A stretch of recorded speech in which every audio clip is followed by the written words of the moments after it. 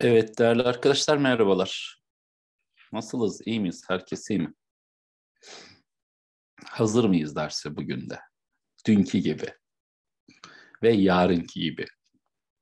İyi mi herkes? Merhabalar, merhabalar arkadaşlar. İyi akşamlar hepinize. Hazırsanız harika. Hocam Westfalia iki tane mi? 80 yıl. Elif'tün 80 30 yıl savaşları 1618 1648 80 yıl savaşları 1668 şey 1568 1648 dedik değil mi? İki tane Westfalia olur mu? İki savaşın sonucunda Westfalia var. Tamam mı? Biri 80 yıl, 80 yıl 1568 1648, 30 yıl 1618 1648. Yani ikisi de aynı tarihte bitiyor. Modunuz yükselecek tabii beni görünce. Ben de sizi görünce modum yükseliyor yani. Öyle değil mi? Peki. Hoş geldiniz, hoş geldiniz.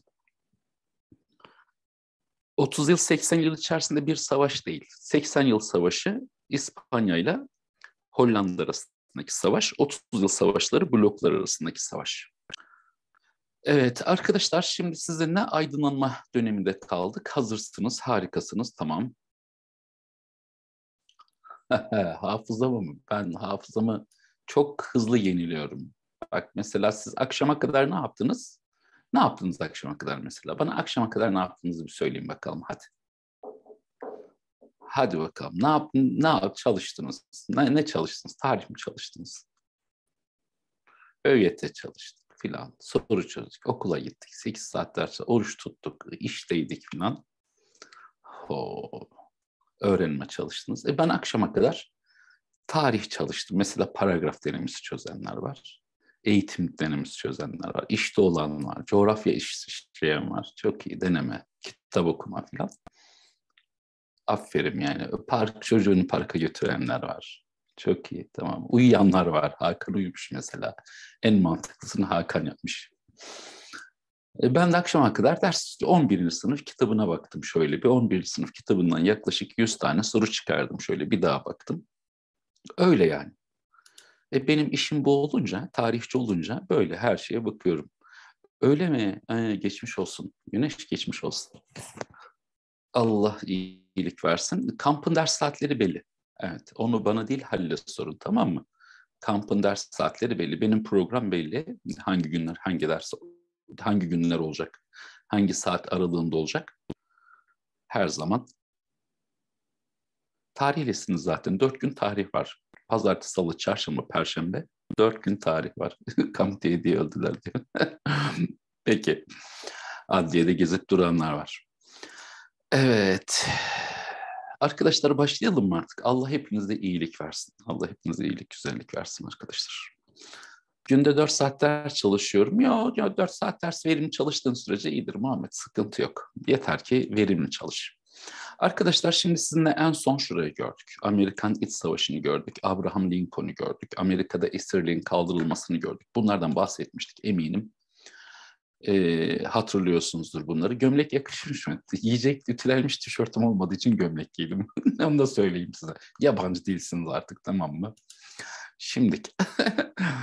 evet arkadaşlar geldik şimdi aydınlanmaya şunu bir hatırlayın, e, o Haçlı Seferleri, Yüzyıl Savaşları, İngiltere'de Çiftegül Savaşları sonucunda Avrupa'da feodalite, Batı Avrupa'da özellikle feodalite ortadan kalktı. Yavaş yavaş Avrupa'da merkezi krallıklar güçlenmeye başladı. Yani milli monarşiler ortaya çıkmaya başladı. Hatırlayın bu kavramı arkadaşlar.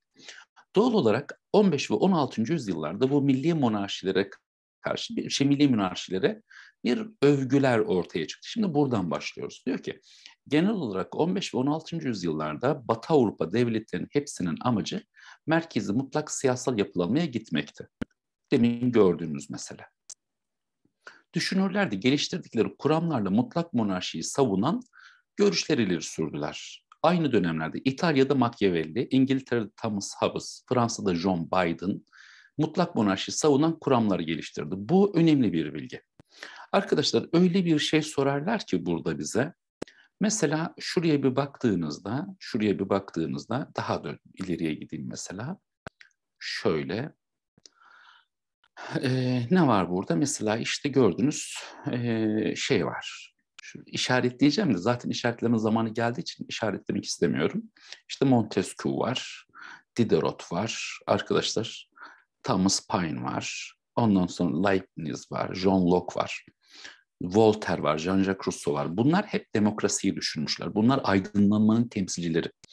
Aşağıdakilerden hangisi aydınlanmanın temsilcilerindendir diye soru sorulduğunda akla bunlar gelir.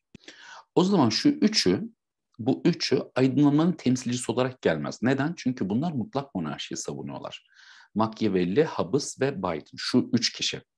Bu o yüzden önemli fark. Burada en çok dikkat eder kişi de Machiavelli. Hatırlayın Machiavelli Prens adlı eserinde mutlak monarşiyi savundu ve İtalyan siyasi birliğinin oluşumundaki İtalyan siyasi birliği 1861'lerde oluşacak. İtalyan siyasi birliğinin oluşumunda Machiavelli'nin yazmış olduğu eserler çok etkili oldu. Ve tarihte ilk defa bakın tarihte ilk defa Avrupa'da modern bir ordunun kurulması gerekliliğini gündeme getiren de Machiavelli oldu. Yani Machiavelli'nin Prens adlı eserinde böyle daimi orduların kurulması, modern orduların kurulması ilk defa gündeme geldi. Niçin? Kralın güçlü olması için güçlü bir ordu lazım felsefesinden geldi. Birinci noktayı gördük. İkinci noktaya bakın şimdi. Genel olarak ütopyacı olarak nitelendirilen düşünürlerin görüşlerini içinde bulundukları kapitalist sistem ve bu sisteme karşı insanların mutluluğa nasıl erişebilecekleri arayışını şekil, arayış şekillendirdi. Thomas More ki Thomas More'un Ütopya eserini unutmayacaksınız arkadaşlar. Çok önemli bir eserdir bu. Yani biliyorsunuz kişi eser sorulabiliyor. Thomas More'un Ütopyası, Campanelli'nin Güneş Ülkesi bu arayışların güzel örnekleridir. Bunlar genellikle İngiltere'de ortaya çıkmış olan düşünürler, yazarlar ve kitaplar. Thomas More, Campanelli bu dönemde ileri sürdükleri görüşleri daha sonraki düşünceleri etkileyecek.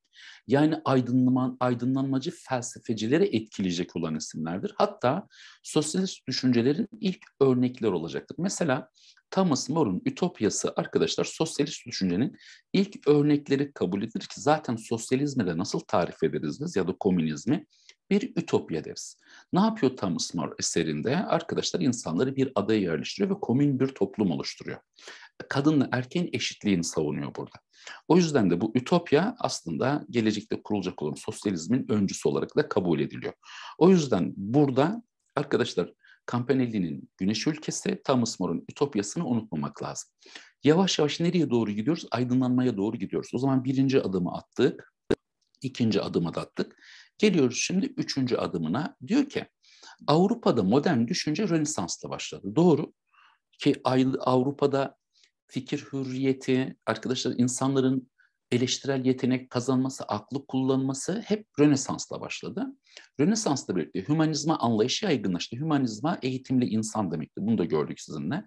Reform hareketleriyle kilisenin dogmatik anlayışı yerle bir oldu. Yani dogmatik neydi? Dine dayalı düşünce. Skolastik düşünce yıkıldı. Denevi gözlem ön plana çıktı. Böylelikle Avrupa akıl ve aydınlanma çağına girdi. Biz 17. yüzyıla akıl çağı, 18. yüzyıla ise aydınlanma çağı diyoruz. Peki bunu nereden fark edeceğiz? 17. yüzyılda çok fazla teknik gelişmeler var. İşte aklınıza hemen şeyler yazsın arkadaşlar. Tamam Galile, Kepler, Kopernik, e, Newton bunlar bilim adamları. Aydınlanma deyince de aklınıza Immanuel Kant, Jean-Jacques Rousseau, Montesquieu, Voltaire, Diderot gelsin. Bunlar da filozoflar. Filozofların olduğu çağ, düşünürlerin olduğu çağ aydınlanma çağı. Bilim adamlarının olduğu çağ akıl çağı. Anlaştık mı arkadaşlar? Ne diyor? Bu yüzyılı en iyi tanımlayan tarihçilerden biri de hiç şüphesiz Immanuel Kant'tır. Immanuel Kant bu yüzyılı şu cümleyle tanımlıyor. Diyor ki aklını kullanma cesaretidir aydınlanma diyor. ne demek aklını kullanma cesareti? Soru sormaktır diyor. Eleştirmektir diyor. Kanıt istemektir diyor.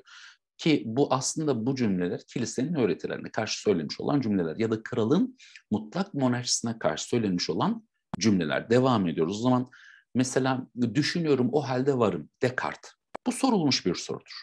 O zaman aklını kullanma cesareti kime aittir? Immanuel Kant'a ait olduğunu unutmayacaksınız. Bunlar meşhur cümlelerdir arkadaşlar. Olmak ya da olmamak. Bütün mesele bu. Neydi? Shakespeare'in miydi o da? bir an aklıma geldi söyledim arkadaşlar. Tamam Bu meşhur soru cümleleri bildiğim bir şey varsa hiçbir şey bilmedim. Sokrates değil mi? Gölge etme başka ihsan istemem Diyojen mesela. Bunlar çok meşhur cümlelerdir. Hala günümüzde de kullanılır bunlar. Devam ediyoruz. Diyor ki varlık sebebi kendinden menkul, kutsal ve eleştirilmez de değildir diyor. Ne? Arkadaşlar her şey aklınıza ne geliyorsa. Toplum ile devletin karşılıklı sorumlulukları aydınlanma dönemi düşünürlerinden Jean-Jacques Rousseau'nun toplumsal sözleşme ya da toplum sözleşmesi adlı eserinde alınmış ve savunulmuştur. Arkadaşlar toplum sözleşmesi Jean-Jacques Rousseau'nun demokrasiden bahsettiği, insan haklarından bahsettiği sözleşmedir. Ki Fransız ihtilalinin ortaya çıkmasında Jean-Jacques Rousseau'nun Toplumsal Sözleşme adlı eseri çok etkili olmuştur. Şimdi bu eseri bir okuyalım sizinle. Ne diyor? Jean-Jacques Rousseau 1762'de yayımlanan bu kitabında bireyin özgürlüklerine dokunmaksızın onun ahlaksal erdemini yüceltecek bir model önermiş. Birey, yani aslında bireyi ön plana çıkarıyor. Bireysel özgürlükleri ön plana çıkarıyor. Bireyler güçlerini, haklarını bir parçası oluşturdukları genel iradeye devredecekler ve böylece siyasal hayatta eşitlik ortaya çıkacak. Ne diyor burada aslında? Ne diyor? Bireyler e, güçlerini, haklarını bir parçasını oluşturdukları genel iradeye yani seçtikleri insanlara devredecekler. Demokrasiden, cumhuriyetten bahsediyor. O yüzden Jean-Jacques Rousseau hem Fransızların ortaya çıkmasında, Avrupa'daki demokratikleşme hareketlerinin ortaya çıkmasında daha ileri bir boyuta götüreyim. Mustafa Kemal'in fikri olarak gelişmesinde Türkiye Cumhuriyeti'nin ideolojisinde etkili olmuş bir adamdır. Devam ediyoruz. Mevcut dini anlayışın sorgulanması bir tabii. Şimdi ne oldu? Bu insanlar sorguluyorlar. Ama buna karşı da yine tepkiler ortaya çıkıyor. Mesela Avusturya'da, Viyana'da bu Jean-Jacques Rousseau'nun yazmış olduğu kitaplar, Diderot'un yazmış olduğu ansiklopedi ya da Immanuel, Immanuel Kant'ın ortaya koymuş olduğu felsefe bunların kitapları yasaklanıyor. Hatta yasaklanmış kitaplar kataloğu bile Avusturya'da, Viyana'da yayınlanıyor. Tepki karşı tepkiyle beraberinde getirir zaten. Devam ediyoruz arkadaşlar. Şimdi diyor ki aydınlanmanın ilk temsilcileri genellikle Descartes, arkadaşlar Leibniz, Almanya'da Gottfried Herder, Immanuel Kant, Christian Wolff, Fransa'da Diderot, Helvetus, Montesquieu, Jean-Jacques Rousseau, Britanya'da David Hume, John Locke, Thomas Paine'dir ki mesela aydınlanmanın öncüsü kimdir diye sorulduğunda aslında Jean, Jean Locke akla gelir arkadaşlar tamam mı? Ve aydınlanmanın ana vatanı da Fransa'dır. Birazdan göreceğiz bunları. Thomas Paine ne diyor? Bu çok önemlidir Thomas Paine'in Sağduyu adlı Bunu bir okuyalım arkadaşlar. Bu da sorulacak bir soru. Buraya da dikkat. Diyor ki Thomas Paine arkadaşlar Amerika'ya giden bir İngiliz'de 1776'da Sağduyu adlı kitabını yayınladı. 3 ayda 120 bin adet satan bu kitap Amerikan bağımsızlık meşalesini yaktı ve Amerikan Amerika Birleşik Devletleri'nin kurulmasında, Amerika'da 13 kolon bir araya gelip İngiltere'ye karşı baş kaldırmasında, Amerikan Bağımsızlık Savaşı'nın başlamasında o Thomas Paine'in yazmış olduğu Sağduyu adlı eser çok etkili oldu. O zaman ben burada buraya kadar olan meselede bir şeye dikkat edelim şimdi. Buraya kadar olan meselede bir, şunu unutmayacağım. Immanuel Kant'ın aydınlanmayı özetleyen sözünü, aklını kullanma cesaret olduğunu, Jean-Jacques Rousseau'nun Toplum Sözleşmesi adlı eserinde demokrasiyi vurguladığını, arkadaşlar ayrıca Thomas Paine'in Sağduyu adlı eserinin Amerika Birleşik Devletleri'nin kurulmasında etkili olduğunu unutmayacağım. Anlaştık mı arkadaşlar? Buraya kadar gördüklerimde önemli bilgilerdi bunlar. Devam ediyoruz arkadaşlar. Ne diyor burada? Aydınlan'ın vatanı Fransa'dır. Özellikle ansiklopedi ki ansiklopedinin yazarı Diderot'tur. Birazdan karşımıza çıkacak. Yayınlanmış Fransa'nın bu ünlü daha da perçini Montesquieu 1748'de Kanunların Ruhu adlı eserini tamamladı ki bu eser, Kanunların Ruhu adlı eser, arkadaşlar güçler ayrılığı fikrini ortaya getirir ki ilk defa güçler ayrılığı fikrini savunan e, Montesquieu'dur ve Kanunların Ruhu adlı kitabında bu fikri ele almıştır, bu düşünceyi ele almıştır. Mesela Fransa'da 1791'de e, Fransız anayasası oluşacak. O Fransız anayasası e, bu Montesquieu'nun Kanunların Ruhu eserinden esinlenilerek güçlere ayrılığı ilkesine göre hazırlanacak. Peki o zaman Kanunların Ruhu kitabında güçler ayrılığı demokrasiden bahsediliyorsa o halde Mustafa Kemal'i fikri olarak, Türkiye Cumhuriyeti'nin kuruluşuna fikri olarak etki etmiş olan düşünürlerden birisi de kim olacaktır? Montesquieu olacaktır. Anlaştık mı arkadaşlar? Bunu da unutmuyoruz. Ayrıca diyor Montesquieu arkadaşlar bunun dışında Acem Mektupları adlı eserinde yazmış. O zaman ben Montesquieu'nun Kanların Ruhu ve Acem Mektupları adlı eserinde unutmayacağım. Thomas Paine'in sağduyusunu, Jean-Jacques Rousseau'nun toplum sözleşmesini, Emmanuel Kant'ın, şey, e, Montesquieu'nun e, Acem Mektupları ve Kanunların Ruhu kitabını unutmayacağım ve Kanunların Ruhu kitabında ilk defa güçleri ayrılığı anlayışının bahsedildiğinde asla kaçırmayacağım. Arkadaşlar şimdi geliyoruz Voltaire'e. Voltaire e, tarih felsefesi kavramını kullanan ilk düşünür diyebiliriz. 14. Louis'i eleştirmiştir ve hatta şunu söylemiştir. Hatırlayın bu cümleyi. Ben 14. Louis'nin tarihini yazmak istemiyorum. Ben insanlığın zihnini yazmak istiyorum. Yani insanlık tarihini yazmak istiyorum diyerek tarihe yeni bir boyut kazandırmıştır. Tabii o günün şartlarıyla düşünmek lazım Voltaire'in bu sözünü günümüzde çok anlamlı gelmeyebilir bu söz ama Voltaire'in döneminde öğretici tarih tarzı vardır. Nedir öğretici tarih tarzı? Daha çok milli tarih anlayışıdır ve kralların tarihleri yazılır. Bizdeki Selimname, Süleymanname gibi Voltaire bunu eleştiriyor. Diyor ki ben insanlık tarihini yazmak istiyorum. O yüzden bazı tarihçiler modern tarih anlayışını Voltaire'le başlatırlar. Bazı tarihçiler böyle düşünür. Voltaire ama Voltaire'in savunduğu düşünce böyle tam demokratik bir yapı değil. Bizdeki gibi, eski bizdeki gibi anayasal monarşi, meşrutiyeti savunuyor. Aydın despotizmi, Aristo gibi. Nasıl yani? Voltaire, aydın despotizmi olarak bilinen ve hükümdarın özgürlüğü, hoşgörüyü, vergi eşitliğini güvence altına aldığı meşruti bir krallığı savunmuştur. Arkadaşlar Kant da böyledir, Immanuel Kant da böyledir. Aydın despotizmi dediğimiz olay ne biliyor musunuz? Şunu söylüyor, diyor ki yöneticiler aydınlar tarafından seçilmeli, ayrıca yöneticiler filozof olmalı, bilgin olmalı erdemli olmalı. E böyle olursa da zaten yönetici halka istediği hakkı da vermiş olur. Yani monarşi var ama o monarşinin içerisinde halka haklar veren bir de anayasa var.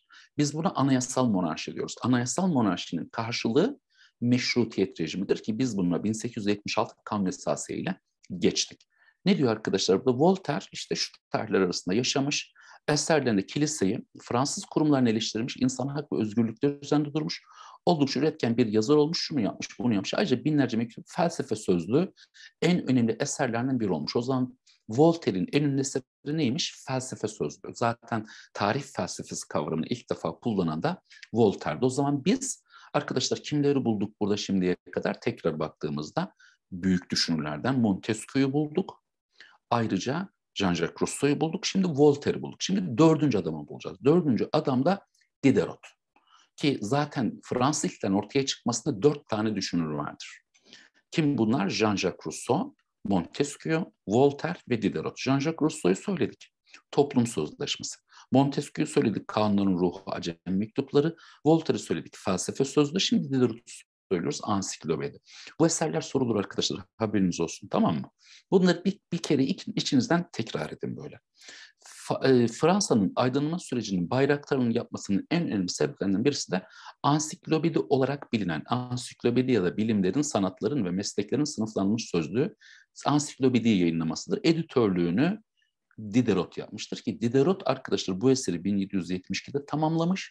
Bu eser Avrupa'da büyük bir yankı bulmuş, Fransa'da büyük bir yankı bulmuş. İşte Voltaire'in, Jean-Jacques Rousseau'nun, Montesquieu'nun, Diderot'un bu çalışmaları Fransız halkını e, kralı eleştirmeye yöneltmiş, Fransa halkında eşitlik, özgürlük, adalet duygularını ortaya çıkarmış ve Fransız ihtilali ortaya çıkmıştır. O zaman Fransız ihtilalinin ortaya çıkmasında aydınlanmacı düşünce etkili olmuş. Aydınlanmacı düşüncenin ana vatanı da Fransa kabul edilmiş. Güzel bir giriş yaptık. Bunlar giriş cümlelerde dikkat edelim. Şimdi Fransız ihtilaline bakalım. ee, aydınlan, aydınlanmacı felsefenin öncüsü kimdir sorusunun cevabı genellikle John Locke olarak verilir. Tamam mı arkadaşlar? Böyle söylerler. Evet. Devam. Şimdi arkadaşlar Fransız ihtilali ve Avrupa Arkadaşlar ihtilal ne zaman ortaya çıktı? 1789'da ortaya çıktı. Bu ihtilali hazırlayan sebepler ne? Bir, sosyal sebepler. Nedir sosyal sebepler? Fransa'da sosyal sınıflar var. Asiller var, din adamları var ve halk var. Şöyle düşünebilirsiniz. Asiller ve din adamları üst sınıf, bütün siyasal hakları var ama halkın hiçbir siyasal yok.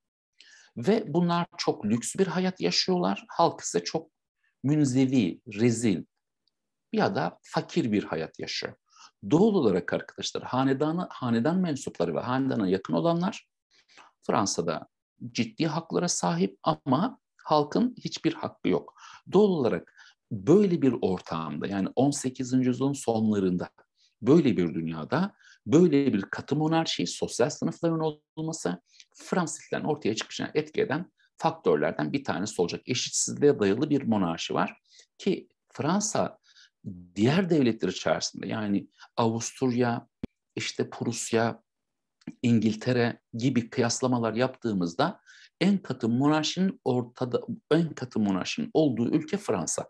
Doğal olarak bu katı monarşiye karşı halkın bir tepkisi var. Sosyal sınıflar var. Fikri sebepler, fikri sebepler zaten söylemiştik. Bir, Montesquieu'nun Kanunların Ruhu adlı eseri. Jean-Jacques Rousseau'nun Toplum Sözleşmesi ki bu Acem mektuplarını da unutmuyorsunuz arkadaşlar. Diderot'un Ansiklopedisi, Voltaire'in Felsefe Sözlüğü ve Kralı Eleştirmesi ki biliyorsunuz 14. Louis'i en çok eleştiren yazar Voltaire ne demişti? İkinci Katerina için kuzeyin Semiramis'i demişti değil mi? Semiramis kim diye İskit hükümdar. İskitler de bir kadın mıydı? Öyle bir şeydi sanki.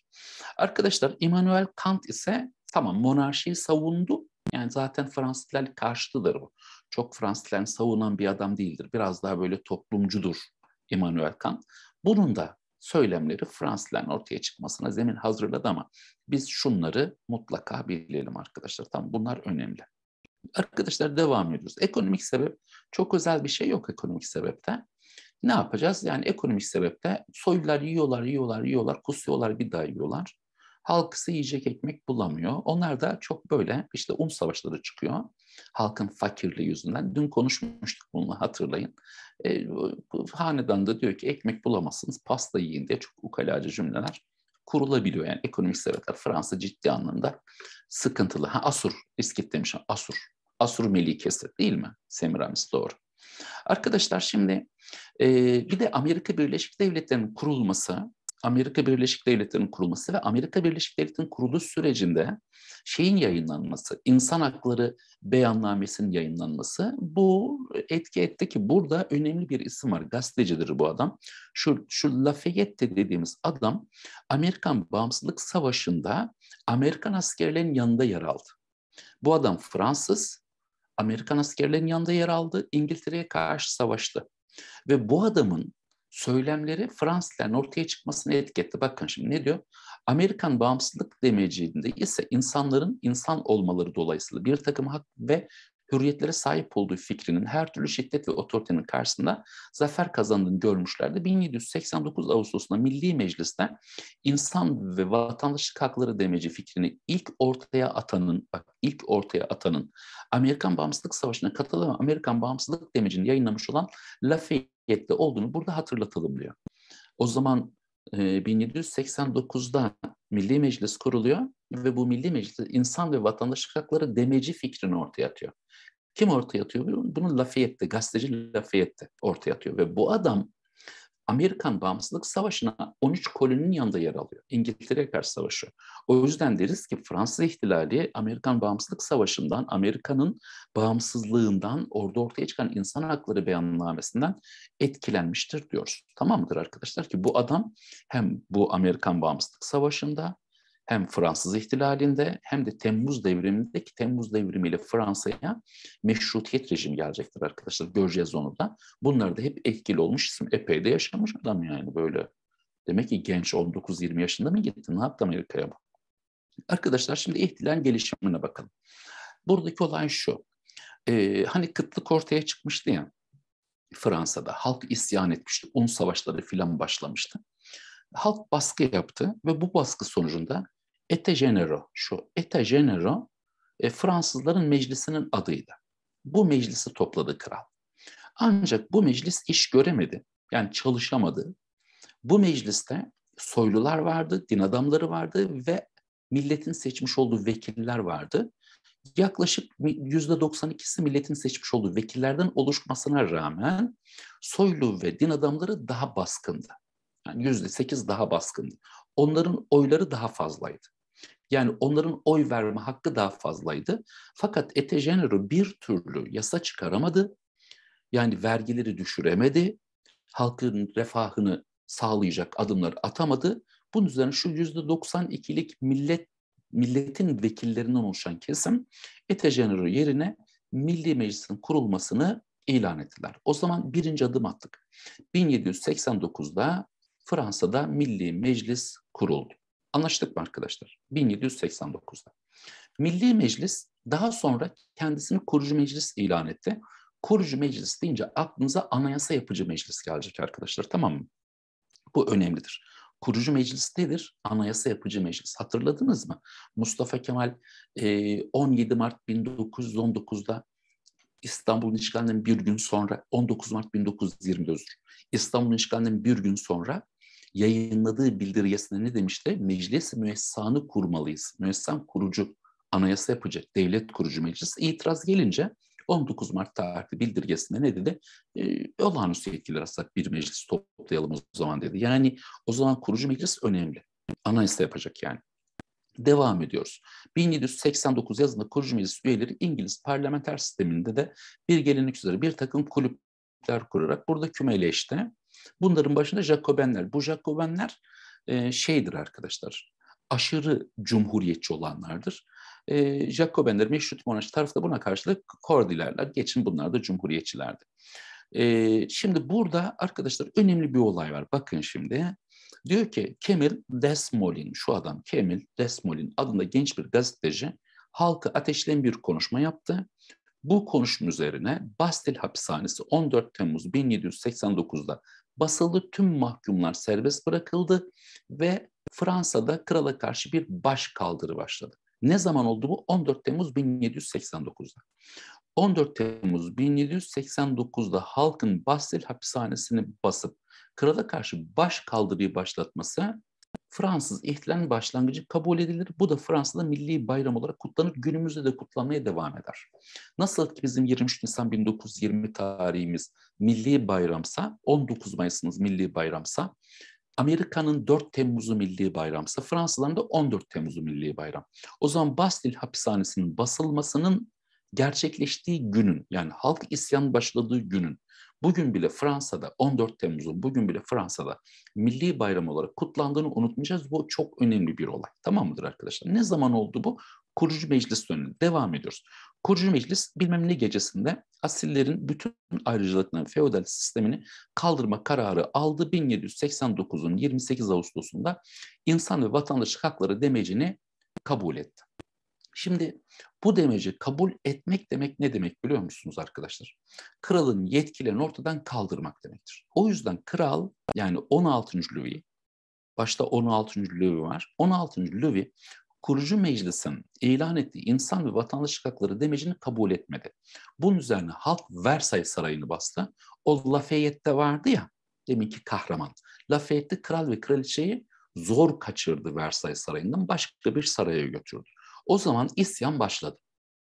Arkadaşlar devam ediyoruz ve kurucu meclis yaptığı çalışmalar sonucunda 1791'de arkadaşlar anayasayı hazırladı ve bu anayasayı kuvvetler ayrılığı ilkesine göre hazırladı. Yani kimin e, kitabını örnek alarak Montesquieu'nun Kanunların Ruhu kitabını örnek alarak kuvvetler ayrılığı ilkesine göre hazırladı ve böylelikle kurucu meclisin görevi bitti. Kurucu meclisin yerine yasama meclisi kuruldu. O zaman baştan bir daha. Bakın şimdi. Ne oldu? Bir, Ete Genero açıldı ki bunlar Fransızların ulusal meclisiydi. İş göremedi. Yerine Milli Meclis açıldı. Milli Meclis görevini kurucu meclise devretti. O zaman bir, Milli Meclis. iki kurucu meclis. Kurucu meclis anayasayı ilan etti ki kurucu meclis döneminde isyan başladı krala karşı. Anayasayı hazırladı, anayasayı ilan etti. Kurucu meclis görevini tamamladıktan sonra yetkilerini arkadaşlar yasama meclisine devretti. Ve yasama meclisi de cumhuriyeti ilan etti. Yasama mec cumhuriyeti ilan eden meclis yasama meclisi. O zaman bir, milli meclis, iki, kurucu meclis, üç, yasama meclisi. Yasama meclisi de cumhuriyeti ilan etti ki cumhuriyeti ilan ettiği için bu meclisi diğer bir ifade konvansiyon meclisi de denilir. Cumhuriyet döneminin ilk meclisi konvansiyon meclisidir. Anlaştık mı arkadaşlar? Peki olayı bir daha değerlendirin.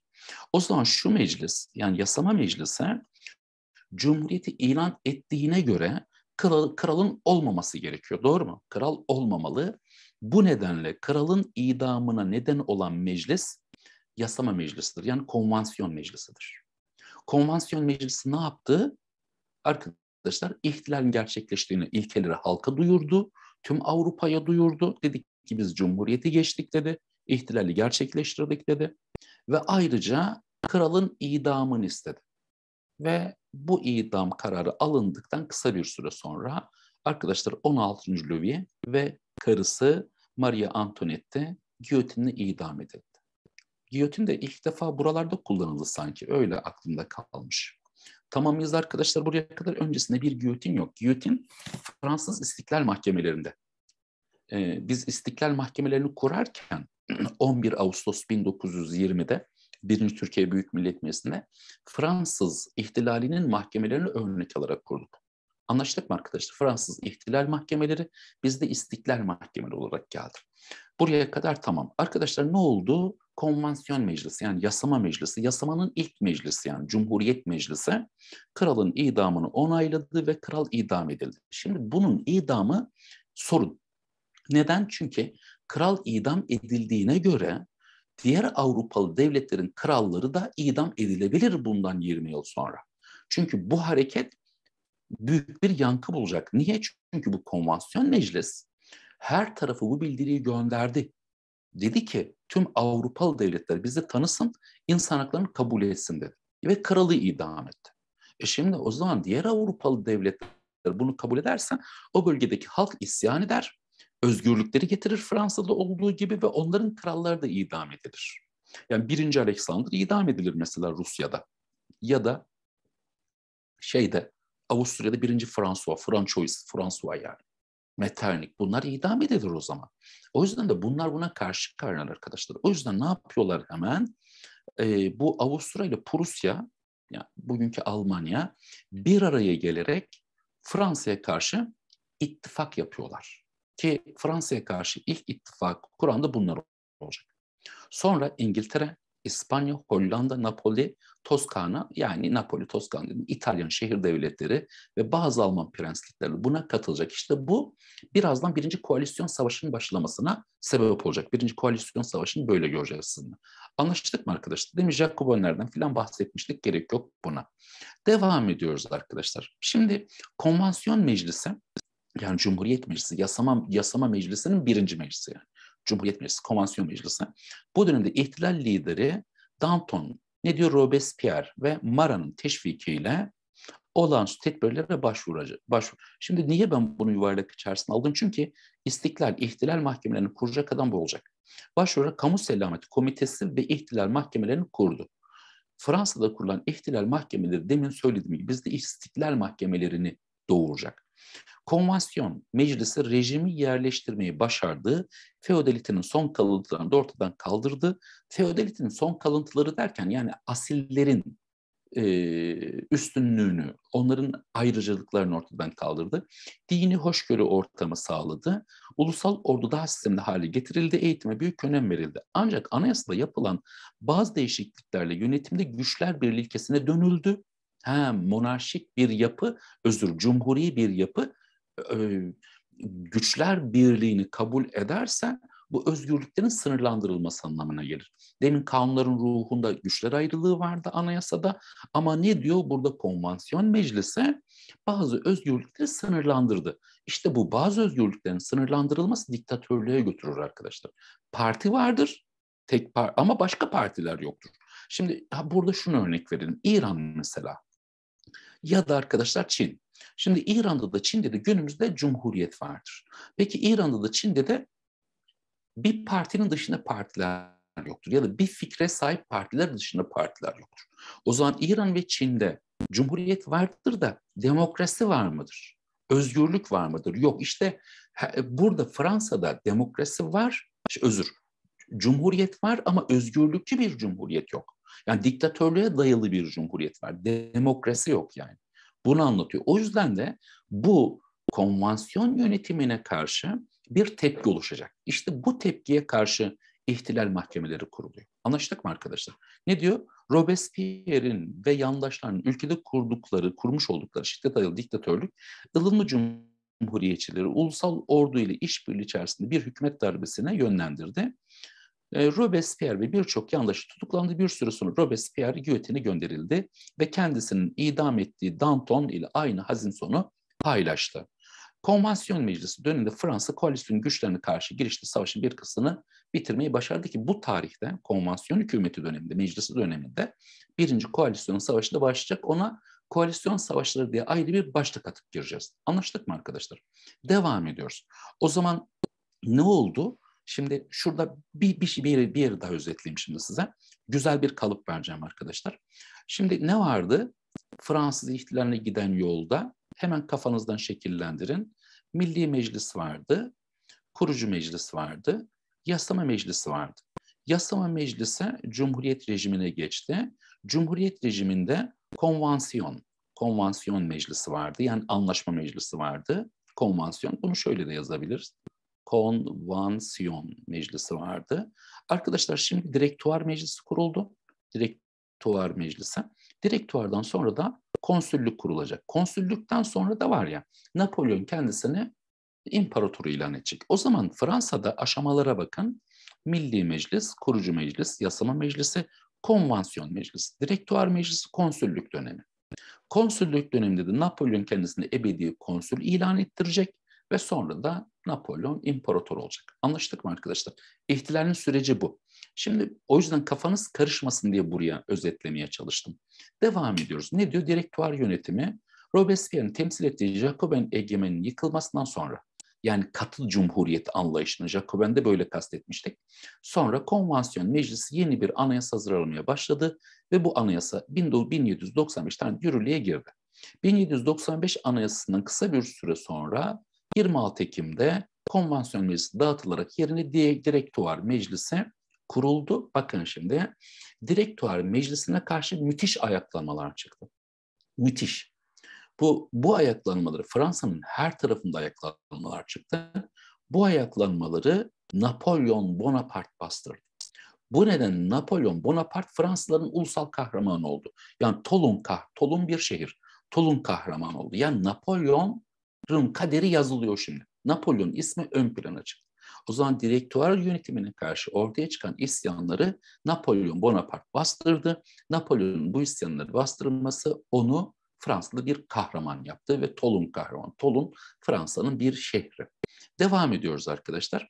Direktör kurulu, ülke geçin bunları. Tamam bunları geçin. Bizle yenildi, bizle karşı savaştı, yenildi. Direktör yönetimine son verildi. Yerine konsüllük dönemi kuruldu. O zaman konvansiyondan sonra ikinci direktör, sonra ise konsüllük. Konsül ise devletin üç kişi tarafından yönetilmesi demektir. Eski Roma gibi düşünebilirsiniz. Roma'da iki memurdu. Burada üç memur tarafından yönetiliyor. Arkadaşlar bu üç konsülden birisi de Napolyon'du. Napolyon burada ağırlığını hissettirdi ve Napolyon arkadaşlar e, kendisini hayat boyu konsül seçtirdi. Kısa bir süre sonra da Napolyon kendisini imparator ilan ettirdi. Böylelikle Napolyon şey böylelikle Fransa'da 1792'de başlayan birinci Cumhuriyet 1804'te bitmiş oldu. 1792-1804 yılları arası Fransa'da birinci Cumhuriyet dönemidir. O birinci Cumhuriyet dönemini bitiren kişi Napolyon olmuştur. Napolyon kendisini e, ilk önce ebedi konsül, aynı Jules Sezar gibi. Jules Sezar da kendini milattan önce kaçtı? 47 mi 43 mü hatırlamıyorum. Ebedi konsül ilan ettirdi. Sonra e, şey oldu, Roma'nın ilk diktatörü, diktatörü ilan edildi yani Jules Caesar. Sonra da onu konsüldekiler birleşti. Hatırlayın işte.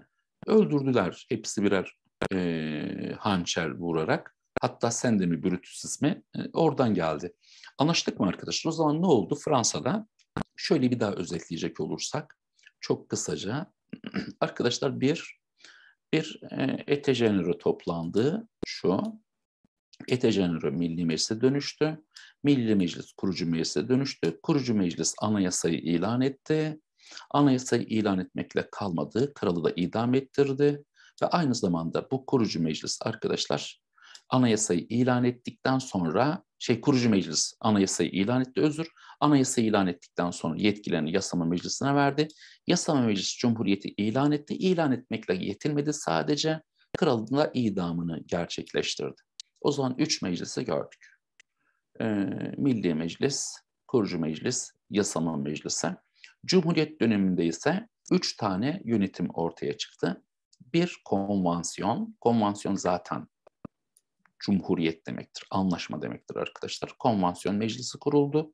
Bu konvansiyon meclisi döneminde arkadaşlar ihtilal mahkemeleri oluştu.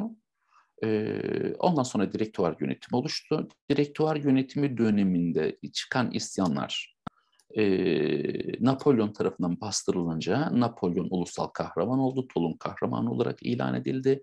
Daha sonra konsüllük dönemine geçildi. Konsüllük döneminde de Napolyon kendisini ilk önce ebedi konsül ilan ettirdi. Daha sonra ise e, imparatoru ilan ettirdi. Böylelikle 1792'de başlayan Cumhuriyet rejimi 1804'te sona ermiş oldu. Tamam mıyız arkadaşlar? Mantık bu. Şimdi geldik Napolyon savaşlarına ama bence şöyle bir yorumlarınıza bakayım ondan sonra. Konvansiyon hükümetine karşı o Napolyon savaşları kurulmaz, şey, ihtilal mahkemeleri kurulmaz. Konvansiyon hükümetine karşı çıkanlara, karşı çıkanları yargılamak için istiklal mahkemeleri yani ihtilal mahkemeleri kuruldu. Tamam mıdır? Yani konvansiyon hükümeti kurdu zaten ihtilal mahkemelerini. Nesle anladın mı? Napolyon direkto, direktuara değil, direktuar kendini feshetti, yerine konsüllük kurulup konsüllüğe son verdi. Evet, evet, gelen bir gelen diğerini eleştirmiş yani. Fransızların olduğu dönemlerde bizde 3. Selim mi var? Fransızlar 1789'da başladı. Ee, tam ihtilalin olduğu günlerde de 3. Selim tahta çıktı. Evet, ihtilal sürecinde bizde 3. Selim var. Maria'nın saçı bir günde beyazlaması mu- muhtemelen bahar buradadır yani. Şöyle bir daha bakayım. Hocam kralın eşini bilemem sultan. E, sen ona mı üzüldün şimdi? Çok idam ediyorsun madem 16 lüveyi. Kır eşini niye idam ediyorsun kardeşim yani değil mi? Ee, ara verelim. Hadi bakalım tamam. Hocam yasama meclisinin içinde mi konsül? Şimdi hayır. Yasama meclisi cumhuriyeti ilan etti ya arkadaşlar. Yasama meclisi cumhuriyeti ilan edince artık cumhuriyetin kendi meclisleri doğdu. Bir, konvansiyon. iki direktuar. Üç, konsüllük. Bu dönemdir. Cumhuriyet dönemidir. E, Robespierre şey açısından önemli. Yani bu ismini unutsanız da olur. Hiç önemli değil. Şu açıdan önemli. İşte ihtilal mahkemelerinin kurulmasında etkili olan. Hocam biz on, biz, biz, biz on, İkinci Dünya Savaşı'nda alınan Alman topraklarının belirleşmiş şeklinde karşıma çıktı. Tanıdık gelmedi. Gerek yok yayıncı. Gerek yok ona. Boş ver tamam mı? Arkadaşlar hocam 400'ler meclisi, direktuar meclisi, o milletvekili sayısı. Evet, milletvekili sayısı. Tamam hadi bakalım bir mola verelim. 21-12, 21, 22'de burada olalım. Hadi bakalım. Ara verdik şu anda.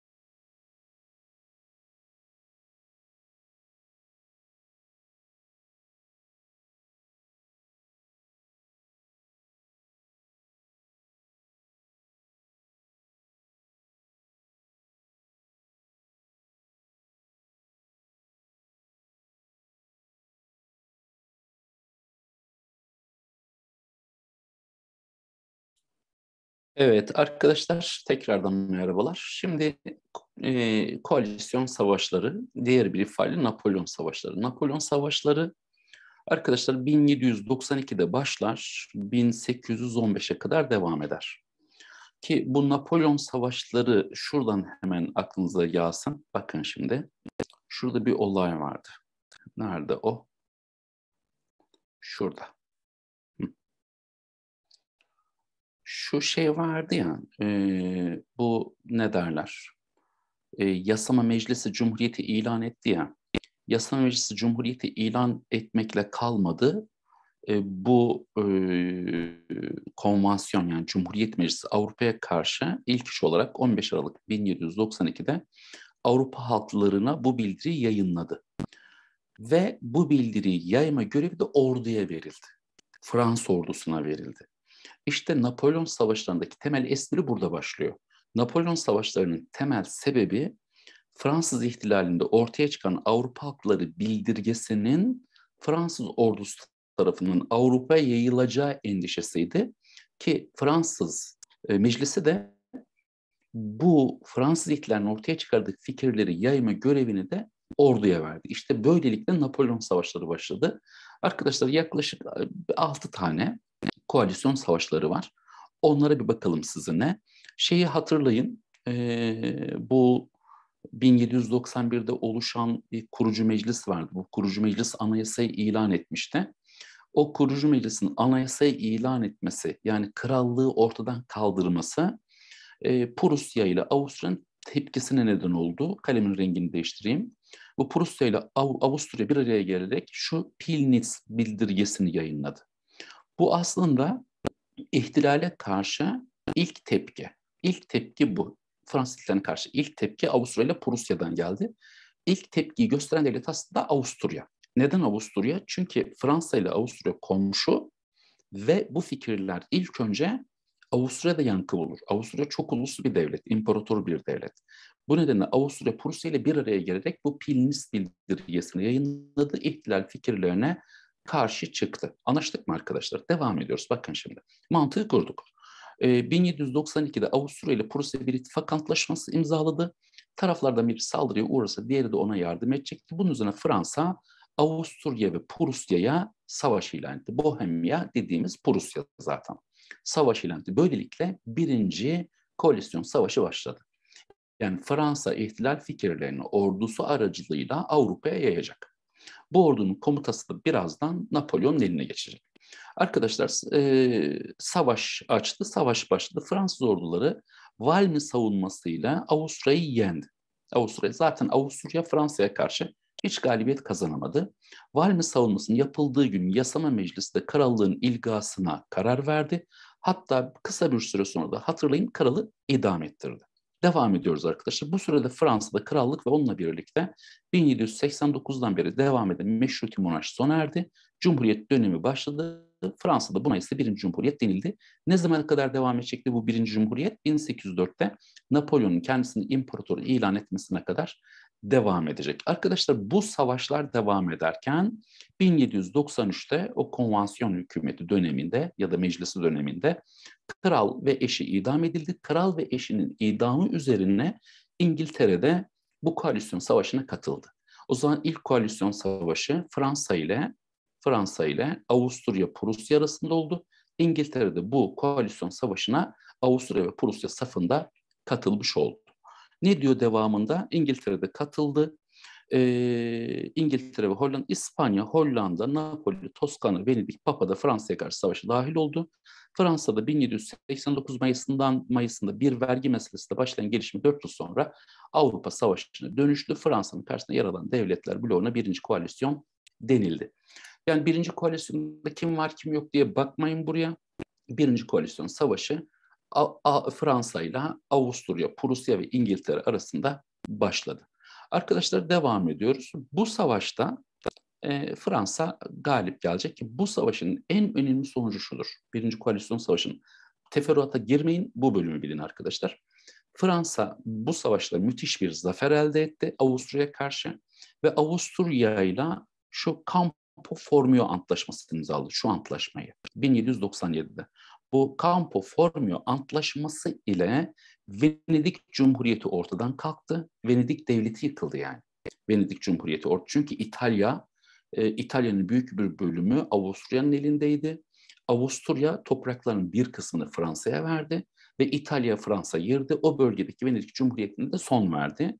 Venedik Cumhuriyeti'ne son verdi. Fransa yedi adaya yerleşti. Böylelikle Fransa Osmanlı Devleti ile komşu oldu. O zaman Fransız ihtilal fikirleri yavaş yavaş Osmanlı'yı da etkilemeye başlayacak. Bunun mantığı bu. Anlaştık mı arkadaşlar? O zaman tekrar şöyle bir baktığınızda Birinci Koalisyon Savaşı Fransa'ya karşı İngiltere, Avusturya, Prusya arasında oldu. Bu savaşta Avusturya, e, özür Fransa Avusturya'ya karşı büyük bir zafer kazandı. Bu zafer sonucunda 1797'de Campo Formio Antlaşması imzalandı. Bu antlaşmayla Venedik Cumhuriyeti ortadan kalktı. Yedi ada Fransa'ya bırakıldı ve Fransa ile Osmanlı komşu oldu.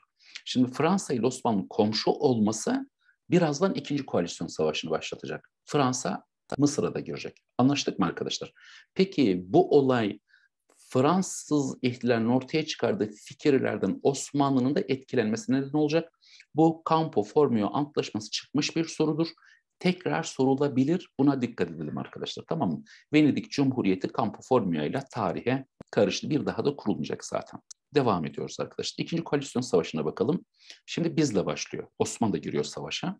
Napolyon'un kafasında Mısır sınırlarını aşan geniş tasarılar vardı.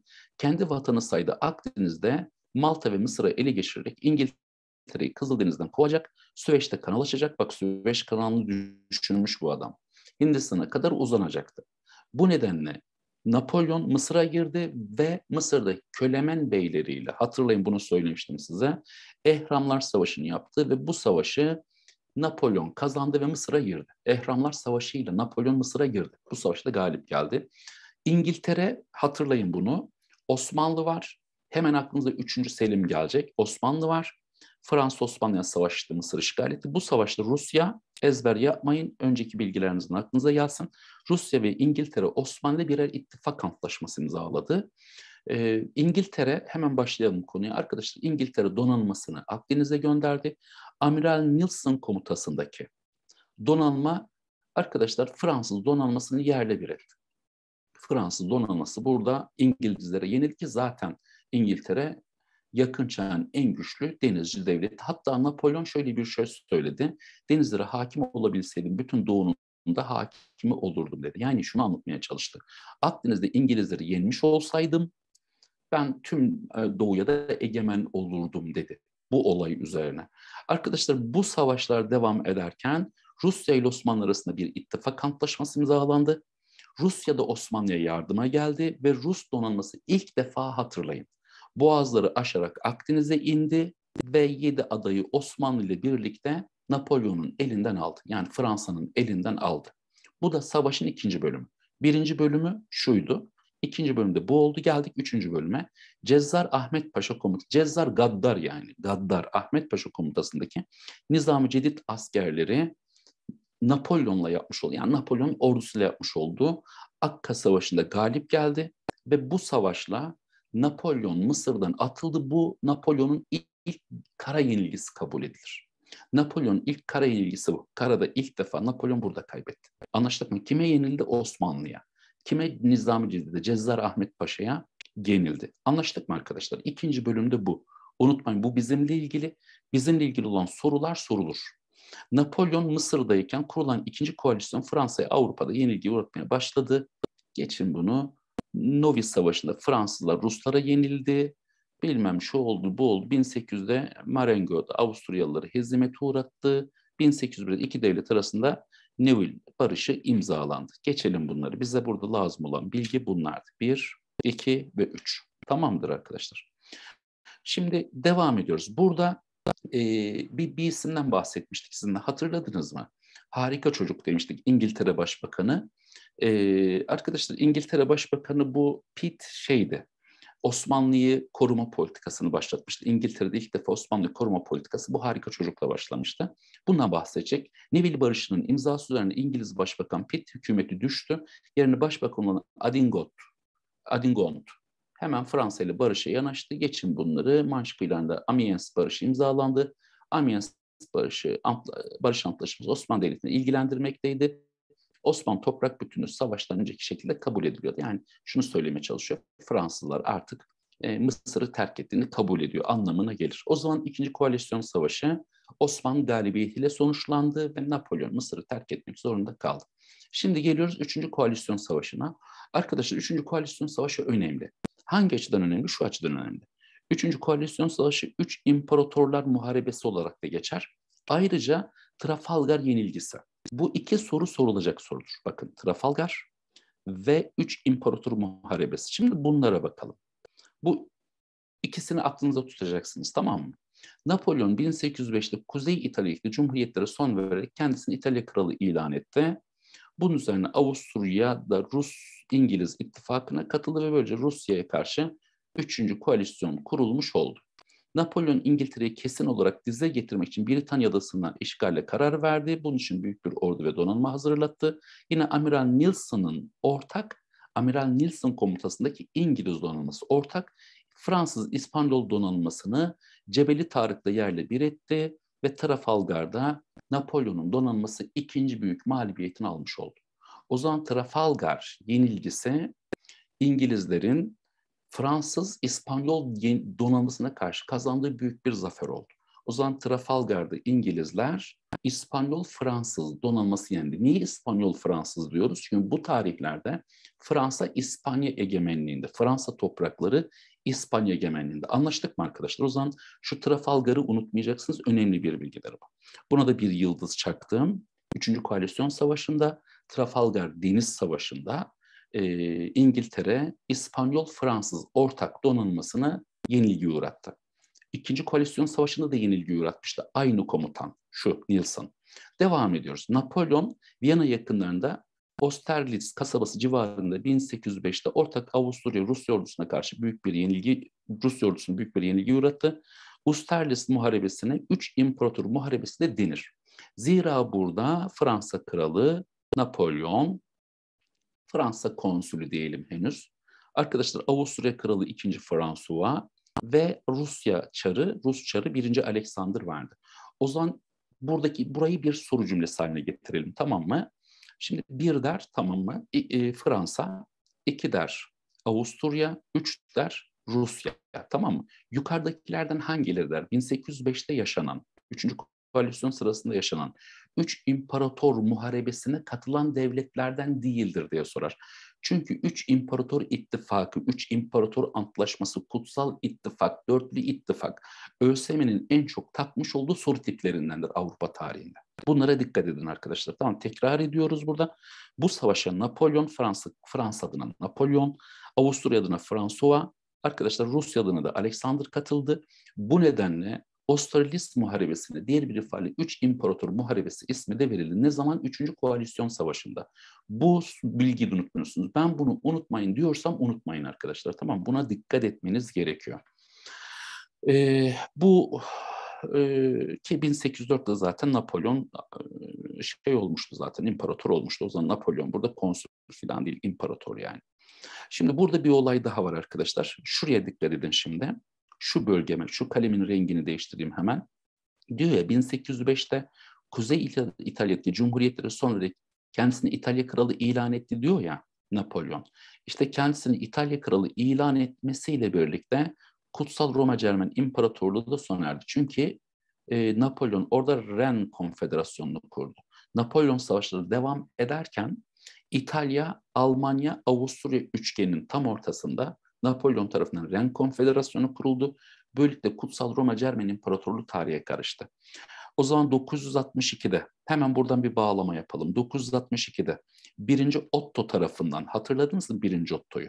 Birinci Otto tarafından kurulan Kutsal Roma Cermen İmparatorluğu 1806'da Napolyon'un e, bu toprakları alarak e, yıkılmasına kadar 1806'da o Ren Konfederasyonu'nun kırılma, kurulmasına kadar Kutsal Roma Cermen İmparatorluğu varlığını devam ettirdi.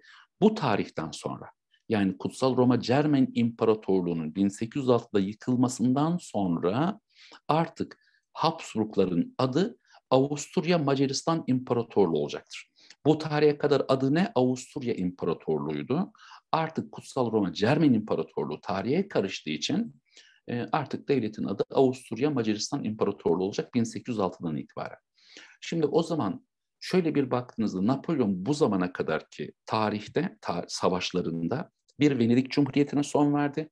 iki Kutsal Roma Cermen İmparatorluğu'na son verdi.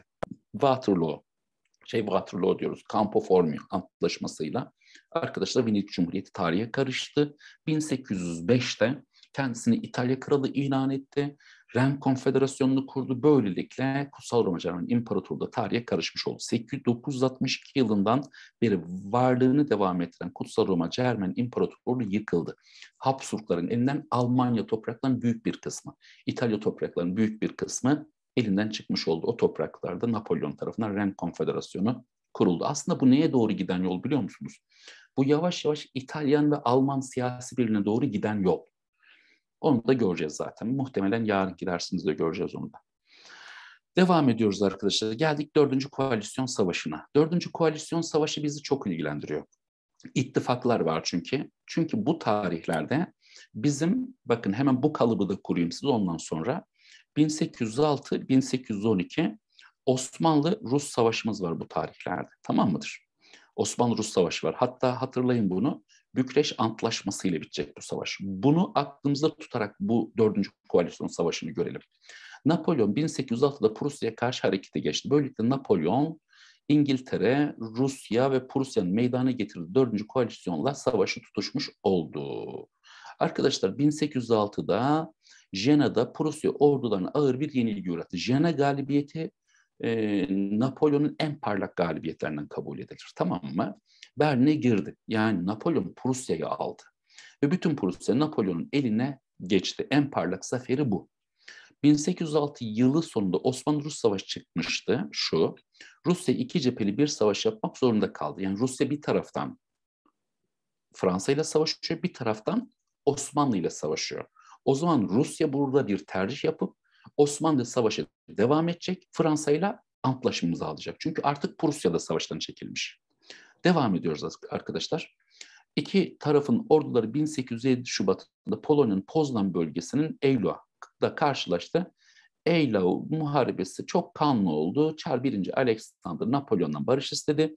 İkisi Tilsit'te buluştu ve 1807'de Rusya ile Fransa arasında arkadaşlar Tilsit Antlaşması imzalandı. Bu antlaşmaya daha sonra Prusya'da karış, katıldı ve bu Tilsit Antlaşması'yla Napolyon kıta Avrupa'sının tek hakimi oldu. Çünkü hemen adım atın, bir geriye gidin, bağlantı kurun. Ne oldu Napolyon? Üçüncü Koalisyon Savaşı'nda İtalya'yı aldı. Kutsal Roma Cermen İmparatorluğu'nu ortadan kaldırdı. Avusturya'yı perişan etti.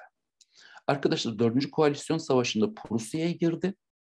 Jena Savaşı ile galibiyetle Prusya'ya girdi ve daha sonra Rusya'ya saldırdı. Rusya o tarihlerde Osmanlı ile savaştığı için Napolyon'la anlaşmak zorunda kaldı ve iki devlet arasında 1807 Tilsit Antlaşması imzalandı. Bu antlaşmayla arkadaşlar Rusya ile Fransa arasındaki savaş şimdilik bitti. Buraya kadar anlaştık mı arkadaşlar? Bu önemli. Bakın bu önemli. Çünkü bizle çok bağlantılı bu olay. Daha sonra yine iki devlet Erfurt'ta bir araya geldi ve, ve ikisi arasında Erfurt Antlaşması imzalandı.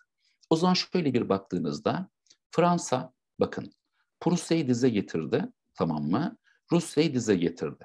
Jena galibiyetiyle Prusya'yı Erfurt ve Tilsit Antlaşması'yla Rusya'yı dize getirdi. Peki Fransa'nın tek bir rakibi kaldı İngiltere. O zaman Fransa Doğu, Doğu Avrupa'yı, Doğu Avrupa ki Prusya, Rusya Doğu Avrupa. Doğu Avrupa'yı dize getirdikten sonra Fransa batıya yöneldi ve İngiltere'ye karşı kıta ablukasını başlattı. O kadar şey ki adım adım gidiyor ki Fransa. Kıta ablukası Fransa'nın İngiltere'ye karşı uygulamış olduğu savaş planıdır. Planı şudur. İngiltere'nin her tarafına donanma yerleştirecek ve İngiltere'nin ithalat ve ihracatını kısıtlayacak, İngiltere'yi aç bırakacak. Böylelikle İngiltere'yi teslim olmaya zorlayacaktı. Fakat başarısız oldu. O zaman Napolyon'un İngiltere'yi işgal planına kıta ablukası diyoruz. Napolyon savaşlarında. Bu da kalıp bilgidir. Bunu da unutmuyorsunuz. Bundan İngiltere mi daha çok zarar gördü, Fransa mı? Fransa daha çok zarar gördü. Anlaştık mı arkadaşlar? Buraya kadar anladık mı? Bu da çok önemli bir bilgiydi. Önemliydi arkadaşlar. O zaman burada bir Jena Jena galibiyeti ki yani Napolyon'un artık yıldızı parlıyor yani. Jena ile Rusya, Prusya'yı perişan etti, Tilsit'le Rusya'yı kendisine bağladı. Arkadaşlar şimdi kıta ablukasına yöneldi ama orada başarısız oldu. Devam ediyoruz. Arkadaşlar burada e, ne diyor? Burada bir şey var mı? Yok. Burada önemli bir şey yok. Geldik şimdi 5. Koalisyon Savaşı'na. Arkadaşlar 5. Koalisyon Savaşı Rusya'nın tekrar şeye döndüğü olaydır. Yani tekrar böyle Osmanlı karşısında Rusya başarı kazandıktan sonra tekrar Fransa'ya karşı mücadeleye girdiği olaydır. İspanyollar Fransızlara karşı e, gerilla savaşını başlattı. Bu olay Fransa'da ciddi anlamda bir zayıflamayı, tökezlemeyi beraberinde getirdi. Arkadaşlar e, bunu fırsat bilen Avusturya Fransa'ya saldırdı. Böylelikle savaş başladı. Yani aslında bu savaşı başlatan olay İspanya'da Fransa'ya karşı bir isyanın ortaya çıkması. Bunu fırsat bilen Avusturya'nın e, Fransa'ya saldırısı. Savaş başladı arkadaşlar. Şu Wagram Savaşı'nda Avusturya yine yenildi. Avusturya zaten hiç galip gelemedi. Bu sefer Napolyon büyük bir orduyla Moskova seferine çıktı. Çünkü bu savaşta Rusya Avusturya'ya destek verdi. Napolyon Rusya'ya karşı harekete geçmek için büyük bir ordu hazırladı. Arkadaşlar bu ordusuna 20 millet ordusu denilir. O zaman 5. Koalisyon Savaşı'nda Fransa'nın Rus üzerine yolladığı ordusunun adı 20 millet ordusu. Yabancı askerlerden, ücretli askerlerden oluşuyor arkadaşlar. Bu e, ve Napolyon Rusya'ya girdi. Şu Smolensk muharebesini kazandı. Borodino muharebesini kazandı. Fakat arkadaşlar böyle Moskova'yı almak çok zor. Kış ayı bastırdı. Kış ayı bastırınca e, Napolyon Moskova'yı boşaltıp geri dönmek zorunda kaldı. O zaman şu e, Smolensk, Borodino muharebeleri Rusya ile Fransa arasında oldu. Napolyon bu savaşlarda galip gelmiş olmasına rağmen e, o coğrafi şartlardan dolayı Moskova'yı boşaltmak zorunda kaldı. O zaman 5. Koalisyon Savaşı Napolyon'un Napolyon'un Avusturya ve Rusya'ya karşı savaşı oldu. Avusturya'yı yendi. Rusya'ya karşı her ne kadar savaşta galip gelemese bile o kış ayı yüzünden Moskova'yı boşaltmak zorunda kaldı. Napolyon'un 5. Koalisyon Savaşı'nda kullandığı orduların büyük bir çoğunluğu yabancı milletlerden ve paralı askerlerden oluştuğu için bu orduya 20 millet ordusu adı verildi. Anlaştık mı arkadaşlar? 5. Koalisyon Savaşı da bu. Sonlara doğru geliyoruz artık. Baydık değil mi yani? 1, 2, 3, 4, 5 ne lan bu yani? Bayıldık yani artık. Geldik 6. Koalisyon Savaşı'na ki artık bitiyor. Arkadaşlar Napolyon 18 yaşındaki çocuklardan ve tecrübesiz askerlerden kalmadı ki artık asker kalmadı yani. 180 bin kişilik bir ordu ile arkadaşlar 6. koalisyona karşı harekete geçti ve savaş başladı. Kim var karşısında? Ee, Avusturya'nın Rusya, şey Fransa'nın Rusya, Avusturya, İngiltere ve Prusya var. Artık Prusya da bu savaşa girer. Ne diyor? Leipzig'te yapılan Millidir Muharebesi denen muharebeyi kaybetti. Artık şey yeniliyor. Fransa yeniliyor arkadaşlar. Sonra bu dört devlet Rusya, Avusturya, İngiltere ve Prusya 1814'te bir araya geldi. Şu Chamont'ta bir ittifak antlaşması imza imza ettiler ve dediler ki Napolyon savaşı bırakana, bırakana kadar onunla karşı dört koldan e, savaşacağız dediler. Şimdi bu Chamont ittifakı ile birlikte arkadaşlar e, Napolyon savaşı bırakıyorum tamam dedi. Ve Napolyon'la bu devletler arasında şu Fontainebleau Antlaşması, Fontainebleau Fermanı'nı hatırlayın. Bu fermanla e, Kalvinizmi yasaklamıştı 14. Louis. Hatırladınız mı? Oradan bağlantı kurun. Antlaşması ile kendisi ve oğlu adına imparatorluktan e, feragat etti. Bu antlaşma içinde kendisi yüzüm kızardı demiştir. Yani bu antlaşma benim yüzümü kızarttı demiştir arkadaşlar. Şimdi e, şu Fontainebleau Antlaşması ile Napolyon imparatorluktan feragat edince 17. Louis tahta çıktı. Böylelikle Bourbonların hanedanlığı yeniden başladı. 1793'te hatırlayın bunu 16. Louis idam edildi. Şimdi 17. Louis tahta çıktı. Ne zaman? 1814. O zaman 1793'ten hatta 92 bile diyebiliriz buna. 1792'den 1814 yılına kadar ülke işte arkadaşlar Milli Meclis, Kurucu Meclis, Yasama Meclisi, Kon Konvansiyon Meclisi, Direktüar Meclisi, konsillik gibi makamlar tarafından yönetildi. En son Napolyon tarafından yönetildi 1804'ten itibaren.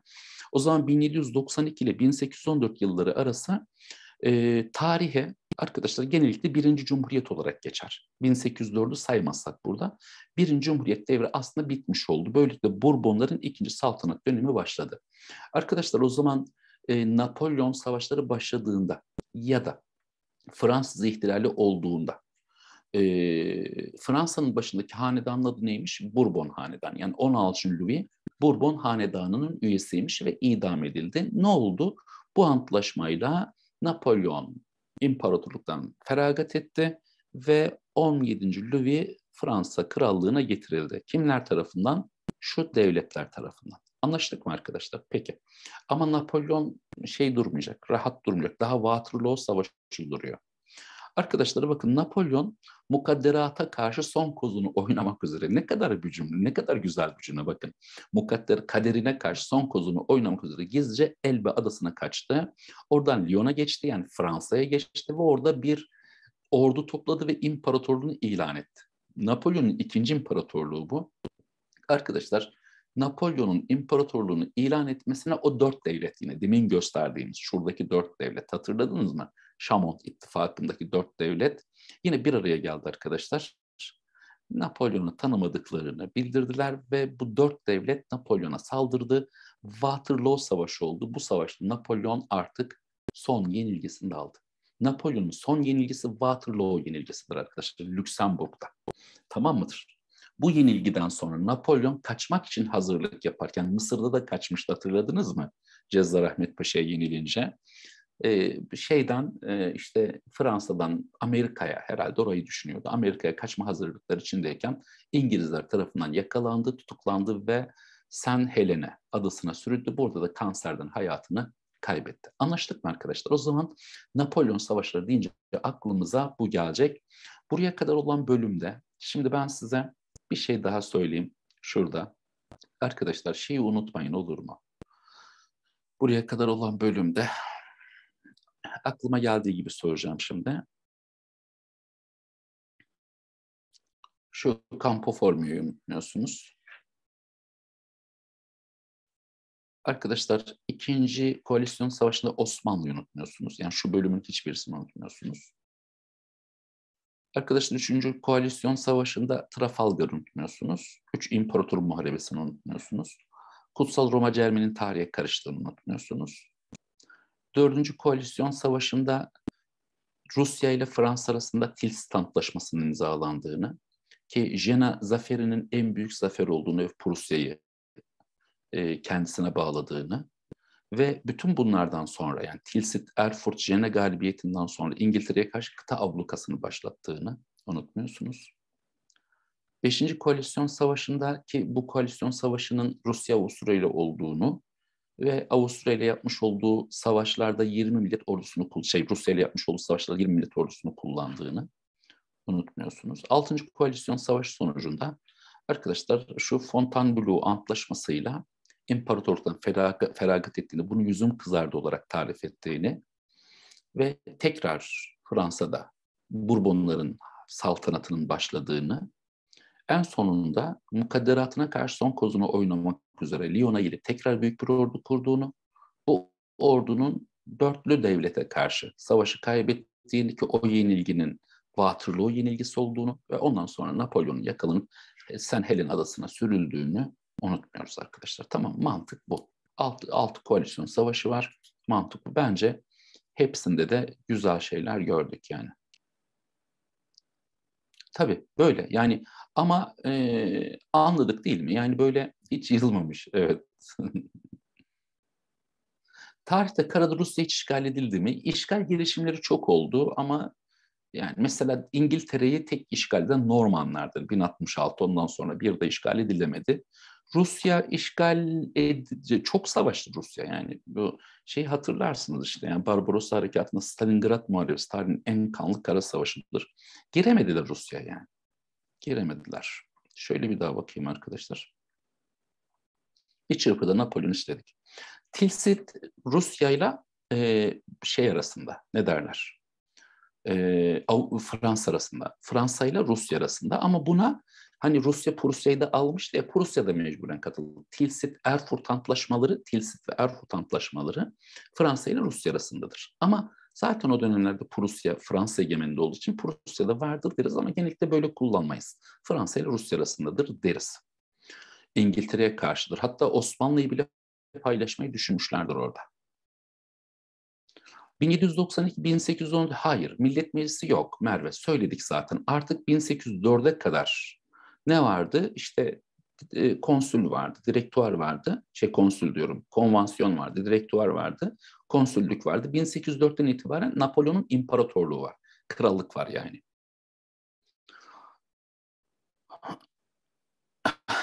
eyvallah, eyvallah. Eyvallah. atanacağız, hepimiz atanacağız arkadaşlar. Trafalgar yenilgisi mi? Trafalgar yenilgisi damla. Tekrar bakalım oraya. Tamam mı? Önemli bir şeydi o. Şöyle tekrar bakayım oraya. Trafalgar'a. Siz de görün orayı. Neredeydi o? Şurada. Üçüncü koalisyon savaşındaydı. Bu Waterloo'da, bakın Waterloo'da en son Trafalgar'da deniz savaşları. Bu savaşta İngiliz donanması, dikkat edin bu cümleye, bu savaşta İngiliz donanması şu Amiral Nelson komutasındaki İngiliz donanması Fransız İspanyol donanmasını yerle bir ediyor. O zaman e, şeyde Fransız donanmasının üç yerde yenilgisi var. Biri şurada Amiral Nelson komutasında Mısır'da yeniliyor. Hatırlayın bunu. Şu Ebu Kır. Hatırladınız mı bunu? Ebu Kır Savaşı'nda. İkincisi bu şeyle ilgili. Tabi bunu 3. Selim döneminde söylemiştik. Arkadaşlar diğeri 3. Koalisyon Savaşı'nda İspanyol-Fransız donanması İngilizlere karşı Trafalgar'da yeniliyor. Ve en sonda işte buna dikkat edin arkadaşlar. Bunlar önemli bilgiler. Nerede o? Yerini bulayım hemen. Waterloo'da. Şurada. Bu da dörtlü ittifaka karşı Fransa savaşı kaybediyor. Tamam mıdır arkadaşlar? Mantık bu. Şimdi Fransız ihtilal sonuçları nedir? İnşallah. ee, büyük devletlere karşı işgal eden iki başkent Moskova ve Londra. Moskova demeyelim de Londra diyebiliriz ama. Moskova demek doğru olmaz. Londra Londra nettir ama. Londra net. Net ifade. Orta Çağ Aşe, o 65-70'i bulacaksınız. Ehramlar, piramitler. Eh, ehramlar Savaşı deriz biz. İkinci adı Piramitler Savaşı ama Ehramlar Savaşı olarak geçer. Ee, yok yok Jacobenler grubu, Jacoben zaten faşist böyle diktatör anlamında kullanılır daha çok. Eyvallah. Konu gıcık ama güzel. Harbiden konu gıcık ama güzel anlatıyoruz. Yani ba- bağlantı kuruyoruz.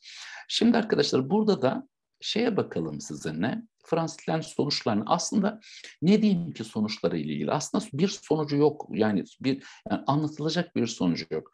Eşitlik, özgürlük, adalet, demokrasi, cumhuriyet, milliyetçilik, layık devlet bunların hepsinin evrensel bir boyut kazandığı olay. Yani hanedanlığın bittiği, teokratik devlet düzeninin bittiği, laikliğin önem kazandığı, ulusçuluğun, akılcılığın önem kazandığı, feodalitinin tamamen ortadan kalktığı, herkesin eşit hakları sahip olduğu bir toplum yapısının ortaya çıktığı ve bunların her birisinin evrensel bir boyut kazandığı, self-determinasyon anlayışının ortaya çıktı. Self-determinasyon nedir? Her millete bir devlet. Dikkat edin cümleye her millete bir devlet. Her millete bir devlet anlayışı neyle ortaya çıktı? Fransız ihtilal yani ulus devlet anlayışı ortaya çıktı. Doğal olarak da bu birçok imparator devletin parçalanmasına, monarşik devletlerin yıkılmasına sebep oldu. Mantık bu. Ne diyor? Milliyetçilik Avrupa'da ve dünyada daha sonraki süreçte eski imparatorluk yapılarının dağılmasına yol açtı. İhtilal beraberinde eşitlik, değişim, genel oy hakkı gibi kavramlar ortaya çıkardı. Ne diyor? 800 bin Fransız askeri hayatını kaybetmiş. 1 milyondan fazla sivil ölmüş arkadaşlar bakın. 1 milyondan fazla sivil ölmüş. sadece asker 800 bin Fransa'nın askeri 800 bin kişi hayatını kaybetmiş. Şimdi şuna bakalım. Arkadaşlar Osmanlı bu ihtilal karşısında o kadar rahat ki Osmanlı bak 3. Selim dönemi 3. Selim bu ihtilal fikirlerinin etkileneceğini hiç düşünmüyor aklının ucunu dahi getirmiyor. Neden? Diyor ki o diyor bir Avrupa sorunudur diyor. Bu Avrupa ile ilgilidir diyor. Biz diyor Müslüman bir devletiz. Bizde sınıflar yok diyor. Yani sosyal sınıflar yok. O yüzden diyor Fransız ihtilal bizi etkilemez diyor. Böyle bir hataya giriyor Osmanlı. Yani tedbirini almıyor. Ancak şu Kompo-Formio antlaşmasıyla Napolyon e, Venedik'e yok Venedik'i yok edip yedi adaya yerleşince Osmanlı komşu olmaya başlıyor. Bu da Osmanlı-Fransız ilişkilerinde bir dönüm noktası oluyor. Ve böyle böyle yavaş yavaş Fransız ihtilal fikirleri Osmanlı'yı etkilemeye başlıyor. Mesela bir örnek vereyim size burada. Napolyon Mısır işgal ediyor ya. Napolyon Mısır'ı işgal ederken ihtilal fikirlerini Mısır'a da yayıyor ha. Karşı propaganda yapıyor. Osmanlı'ya karşı eşitlikten, özgürlükten, adaletten bahsediyor yani. O yüzden şeyi hatırlayın Kavalalı Mehmet Ali Paşa Mısır'a geldiğinde bu fikirlerden çok fazla etkilenecektir. O yüzden Kavalalı çok önemli bir adam.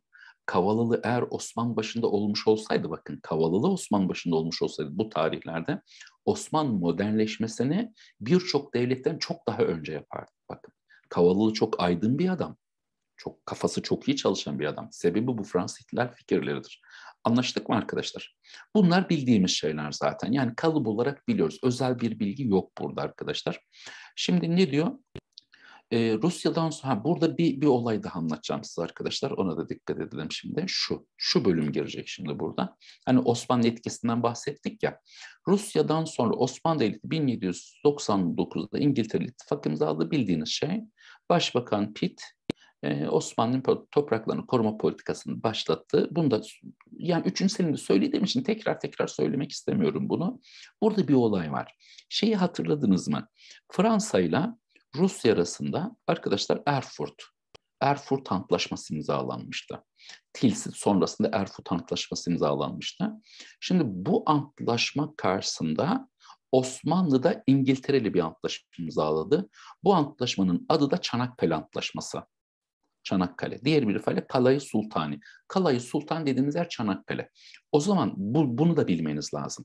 O halde cümleye dikkat ederseniz Osmanlı Devlet özür Rusya Fransa ile e, Fransa ile Erfurt ve Tilsit Antlaşması'nı imzalayıp Fransa ve Rusya İngiltere'ye karşı birlikte hareket etme kararı alınca Osmanlı Devleti ile İngiltere'de bir ittifak antlaşması imzalıyor. Bu antlaşmayla e, diğer bir adı Çanakkale Antlaşması. Bu antlaşmayla cümleye çok dikkat edin. Bu antlaşmayla arkadaşlar Osmanlı Devleti Çanakkale'den yani boğazlardan yabancı devletlerin geçişini yasaklıyor. İlk defa boğazlardan yabancı gemilerin geçişi Çanakkale Kale Sultani ile yasaklanıyor. İlk defa burada gündeme geliyor. O yüzden bu bölümü bir okuyalım. Yani şu mantığı kaptıktan sonra bölüm okuyalım. O zaman 19. yüzyıl başlarında Osmanlı Devleti'nin koalisyon savaşları devam ederken İngiltere ile imzaladığı antlaşmanın adı neymiş? Kalayı Sultani.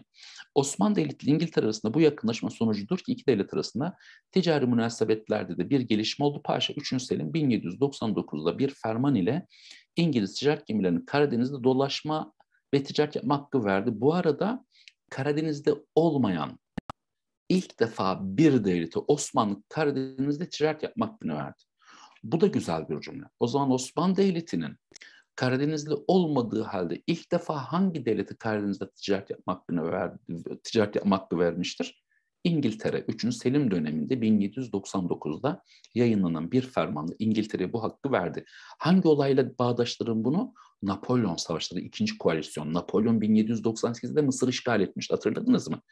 İşte bundan dolayı da Osmanlı İngiltere'ye yakınlaştı, İngiltere Osmanlı'ya yakınlaştı.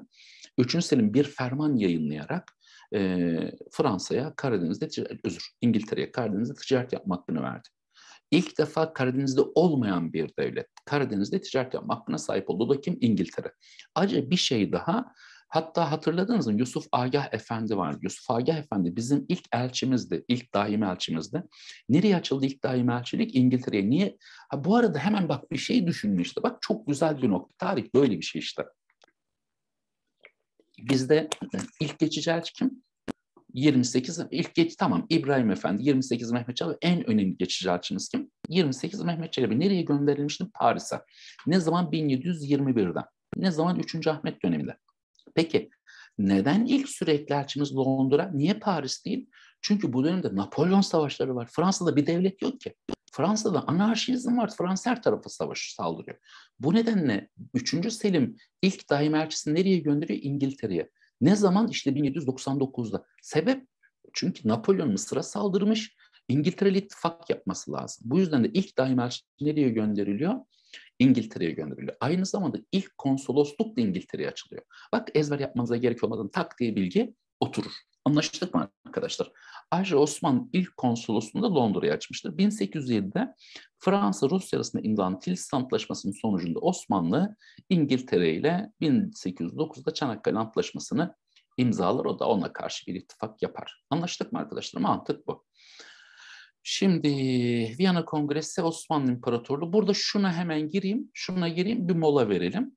Arkadaşlar Metternich yani Avusturya Şansölyesi Başbakanı Metternich Viyana Kongresi'nin mimarıdır bu adam. Bu kongreyi Metternich topladı. Zaten Viyana Avusturya'nın başkenti.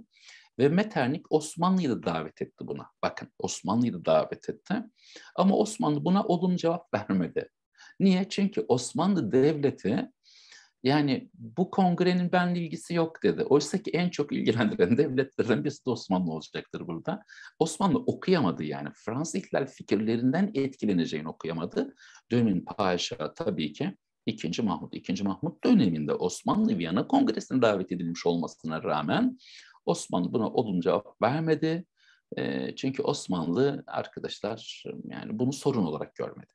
Burada diğer bir olay da şu. Viyana Kongresi'nde Rusya damgasını vurdu. Çünkü Rusya bu kongrede ilk defa Osmanlı için arkadaşlar e, şey ilk defa Osmanlı'yı paylaşma e, projesini İngiltere'ye anlattı ve dünya literatürüne bir kavram girdi. Rusya'nın Osmanlı'yı paylaşma projesi sonucunda şark meselesi yani doğu sorunu. O zaman Rusya'nın Osmanlı'yı paylaşma projesini Viyana Kongresi'nde ortaya atması üzerine ilk defa şark sorunu kavramı da Viyana Kongresi'nde gündeme gelmiş oldu. O şark sorunu kavramını unutmayacaksınız. Ne diyor? Bu deyim Avrupa diplomasisinde bundan sonra çok kullanılmaya başlandı. Şark meselesi genel olarak Osmanlı İmparatorluğu'nun toprak bütünlüğünün korunması 19. yüzyılın ikinci yarısında ise Türklerin topra Avrupa'daki toprakların paylaşılması, 20. yüzyılda ise Osmanlı topraklarının bölüşülmesi anlamına geldi. Ne güzel tarif etti. Mesela Rusya İngiltere'ye diyor ki toprağı paylaşalım diyor yani. Paylaşmadır şart meselesi. İngiltere kabul etmiyor. O yüzden genel olarak ne? Osmanlı toprak bütününü koruma. Avrupalı devletler koruyorlar Rusya karşısında. Ama ikinci yarısından sonra e, ki bu da hemen aklınıza 1878 Berlin Antlaşması'nı getirsin. Berlin Antlaşması'yla hatırladınız. Sırbistan, Romanya karada elden çıktı. İkinci yarısından ise Türkleri Avrupa'dan atma, attılar. 19 şey 20. yüzyılda ise e, Osmanlı'yı paylaşma. O da Birinci Dünya Savaşı'ndaki gizli antlaşmalar aklımıza gelecek. Anlaştık mı arkadaşlar? Mantık bu, temel felsefe bu. Şeyden o yüzden ben KPSS ders anlatırken bazen zorlanıyorum genel kültür.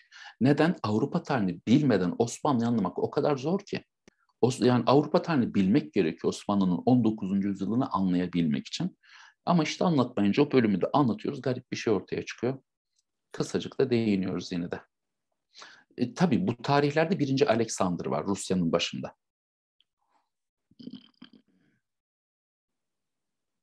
Eyvallah. Sırp isyanı ihtilalin etkisi tabii canım 1804 Sırplar Karayorgi isyan etti ki Zaten ihtilalin ilk etkisidir bu. Tabii onu bile okuyamıyorlar. Biz günümüzde söylüyoruz.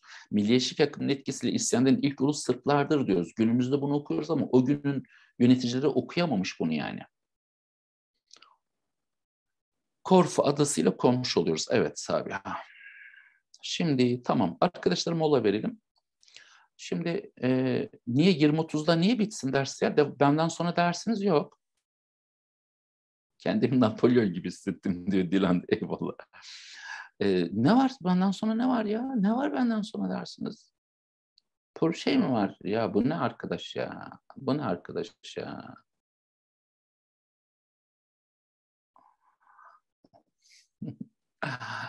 Vatandaş. Vatandaş. Ya bu Reyhan Hoca var ya Reyhan Hoca. Ee, şöyle vatandaşlığı biraz geciktirelim ya. Şöyle bir bakayım yeni sisteme. Kısıl ittifak Napolyon Avrupa'da.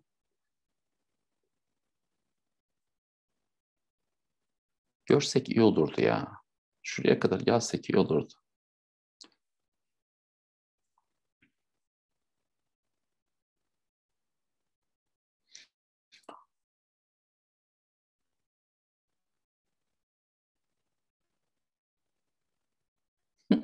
Ne pusulası? En keyifli yerde mi bırakacağız şimdi yani?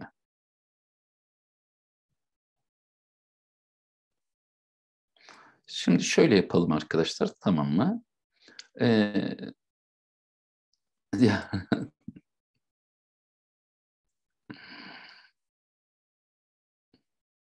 Şimdi arkadaşlar şöyle yani bir noktaya kadar getirmek istiyorum da o yüzden bir noktaya kadar. O zaman mola vermeyelim tamam mı? Molayı zaten böyle muhabbetle konuşmuş olduk. Muhabbetle konuşmuş olduk. Arkadaşlar şunu yani niye istiyorum biliyor musunuz bunu? Bunun sebebi şu. Napolyon savaşlarını bitirdik ya. Bunu, bunu bağlamam gerekiyor. Bağlayabilmem için de e, şuraya kadar anlatmam lazım. Hadi bir, bir 10 dakika anlatalım olur mu? 10 dakika bir bağlantı kuralım sizinle ondan sonra. Muhammed okudum ama yarın Muhammed bir mesaj atmış. Ee, Muhammed değerlendiririz onu tamam mı? Değerlendiririz onu. Arkadaşlar evet evet arkadaşlar o bağlantı adına şimdi ben burada güzel bir bağlantı kuracağız tamam mı? Arkanıza yaslanın dinleyin şimdi. Arkadaşlar bakın şimdi ne oldu Napolyon savaşlarıyla e, Avrupa'daki fikirler şey Fransızlıktan çıkardığı fikirler Avrupa'ya yayıldı. Tamam mıdır? Ancak şimdi Napolyon'un asıl derdi Napolyon diyor ki benim derdim diyor Avrupa Birliği'ni kurmak diyor. Şey gibi ya 14. Louis gibi tek devlet tek din işte tek millet filan böyle böyle böyle. Dikkat edin şimdi. Ee, arkadaşlar bu Napolyon'un Napolyon savaşları sonucunda e, Avrupa'da şey Fransız fikirleri Avrupa'ya yayıldı. Mantığı böyle kuralım. Şimdi bu fikirler Avrupa'ya yayılınca Avrupa'da Napolyon'a karşı Viyana Kongresi toplandı. Napolyon'un yaydığı fikirlere karşı. Bu Viyana Kongresi'nde ilk önce Kutsal İttifak, dikkat edin cümleye, daha sonrası Dörtlü İttifak kuruldu. Şimdi bunları göreceğiz sizinle. Anlaştık mı arkadaşlar? Bu Kutsal İttifak nedir? Dörtlü İttifak nedir? Viyana sistemi nedir? Buna bakacağız. Olay bu. Konumuz bu. Viyana sistemi ne? Kutsal İttifak ne? Dörtlü İttifak ne? Buna bakacağız. Arkadaşlar bakın şimdi. E, Kutsal İttifak bu 1814'te ortaya çıkmaya başlıyor. 15'te de kurulacak. Kutsal İttifak Rus Çarı 1. Alexander'ın eseridir. Alexander dindar bir adam. İçe kapanık, dindar bir adam böyle. Diyor ki Alexander, arkadaş diyor öyle bir ittifak kuralım ki Avusturya, Rusya ve şey Prusya ve Rusya arasında bu ittifak dini ilkelere göre olsun ve din inançlarımızı devam ettirsin diyor. O yüzden de adı Kutsal İttifak. O zaman bakalım. Alexander'ın eseri, Alexander Napolyon'un yıkılmasından sonra Napolyon Napolyon'u mağlup edenin kendisi olduğuna inanmış ve Avrupa'nın lideri rolünü oynamaya başlamış. Bak ne kadar melankoli bir adam. Karakterinin mistisizm dolayısı, dolayısıyla yani dine düşkünlüğüyle Viyana'da kurulan Avrupa düzeni dini ilkelere göre korumaya ve devam ettirmeye karar verdi ve Avusturya ve Prusya hükümdarlarının sunduğu bir antlaşma tasarısını 1815'te bunları imza ettirmeyi başardı. Buna da Kutsal İttifak denildi. O zaman Kutsal İttifak 1815 yılında 1815 yılında Katolik Avusturya, Protestan Rusya ve Ortodoks şey Protestan Prusya ve Ortodoks Rusya arasında imzalandı. Bu üçlü ittifaka kutsal ittifak denildi. Yani dini birliktelik. Kimler bir araya geldi tekrar? Katolik Avusturya, Protestan Prusya, Ortodoks Rusya bir araya geldi. Bu dini ilkelere göre bir birlikteliktir. Kime karşı? Fransız ihtilal yaymış olduğu fikirlere karşı. Ancak arkadaşlar birinciyi bulduk. Kutsal İttifak'ta kim var? 1815 Kutsal İttifak'ta. Nerede oluştu bu? Viyana Kongresi'nde oluştu. Devam ediyor şimdi. Fakat Avusturya Başbakanı Metternich akıllı bir adam. Bu adam dini birliktelikle oluşan kutsal ittifakı zayıf buldu. Dedi ki bu bir zayıf düşüncedir dedi. Biz bunu güçlendirmemiz gerekir dedi arkadaşlar ve güçlendirmek için de e, şey Metternich buraya İngiltere'yi de dahil etti. İngiltere, Avusturya, Rusya ve Prusya bir araya gelerek 1815'te dörtlü ittifakı kurdu. O zaman Viyana Kongresi'nde, 1815 Viyana Kongresi'nde Napolyon yaymış olduğu fikirlere karşı ilk önce bir kutsal ittifak kuruldu. Daha sonrası dörtlü ittifak kuruldu. Kutsal ittifakta, unutmayın devletleri, kutsal ittifakta Avusturya, Rusya, Prusya var. İngiltere'nin de buna katılmasıyla birlikte dörtlü ittifak ortaya çıktı. Anlaştık mı arkadaşlar? Güzel gidiyoruz. Dikkat edin şimdi. Ee, o zaman bütün bu ittifakların temelde amacı yani Napolyon'un yaymış olduğu fikirlere karşı yani aslında Fransa'ya karşı. Anlaştık mı? İngiltere'nin katılmasıyla böyle oldu. Birinci bilgiyi bitirdik. Birinci bilgimiz bu. Kutsal ittifak ne? Dörtlü ittifak ne? Şuradan devam ediyoruz. Bakın şimdi. Bu ittifaka göre Fransız ihtilal fikirleri Fransa'yı yeniden sarsıntıya uğratabileceğinden ve bunun sonucunda da Avrupa'nın barış ve huzurunu bozabileceğinden dört devlet ortak menfaatlerini koruma amacıyla bir araya geleceklerdi. Dörtlü ittifak Metternich sayesinde arkadaşlar bizden Metternich'i de sorarlar. Dörtlü ittifakın, kutsal ittifak, özür, dörtlü ittifakın Viyana e, Kongresi'nin e, restorasyon döneminin müdahale sisteminin mimarı Metternich. Metternich kim? Avusturya şansölyesi. Yani Avusturya başbakan. Metternich özdeşleşmiştir Viyana Kongresi. Metternich sayesinde Metternich sistemi veya müdahale sistemi adı ile 19. yüzyıl siyasetinde önemli bir yer işgal edecektir. Çünkü bundan sonra dikkat edin bu cümleye. Avrupa'nın neresinde bir hürriyet ve demokrasi hareketi ortaya çıkarsa yani ulus devlet anlayışıyla bir isyan ortaya çıkarsa bunu durdurmak için dört ittifak hemen müdahale edecek. Bu sebepten Metternich sistemiyle mutlakiyetçilik bundan sonra aynı anlamı ifade edecektir. O halde şöyle düşünün. Bu devlet, bu devlet çok uluslu yani imparator bir devlet. Peki bu devlette azınlıklar var. Yani farklı etnik kökenler var. Diyor ki bunlardan bir tanesi isyan edip bu devletten ayrılmak isterse hep beraber dörtlü ittifaktaki devletlerin hepsi kim bunlar? İngiltere, Prusya, Rusya ve Avusturya hep beraber isyan eden azınlığa ya da ulusa karşı bir araya gelecek ve bunun bağımsız olmasını engelleyecek. O halde Metternich'in ortaya atmış olduğu bu sistem neyi koruyor? Mutlak monarşiyi koruyor.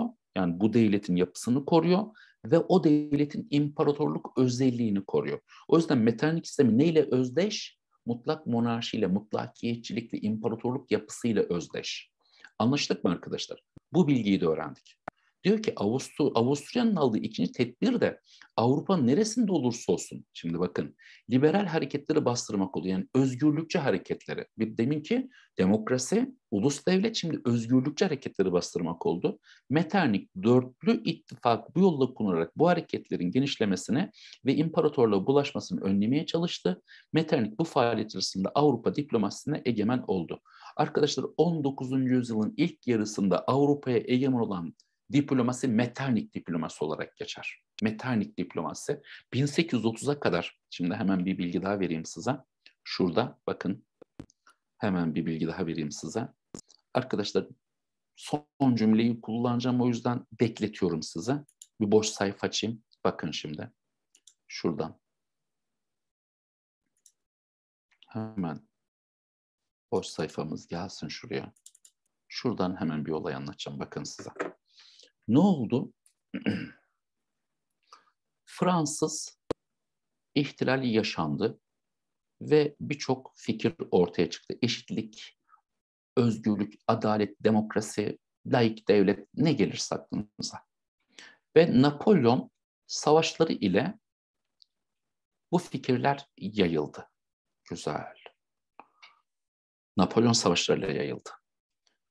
1815'te Viyana Kongresi toplandı. Bu Viyana Kongresi'nin amacı Napolyon'un yaymış olduğu fikirleri engellemek ve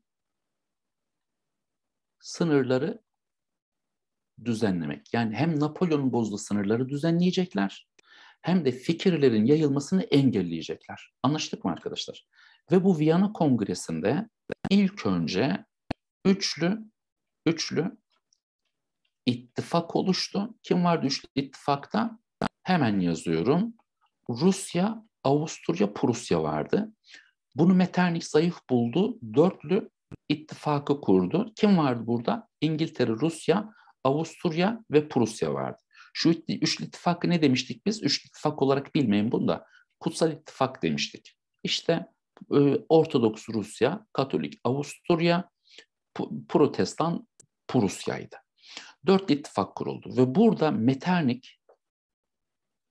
kendi adıyla alınan sistemi yayınladı. Biz buna Metternich sistemi dedik. Metternich sistemi diğer bir ifadeyle müdahale sistemiydi. Peki bu müdahale sisteminin temel esprisi ne?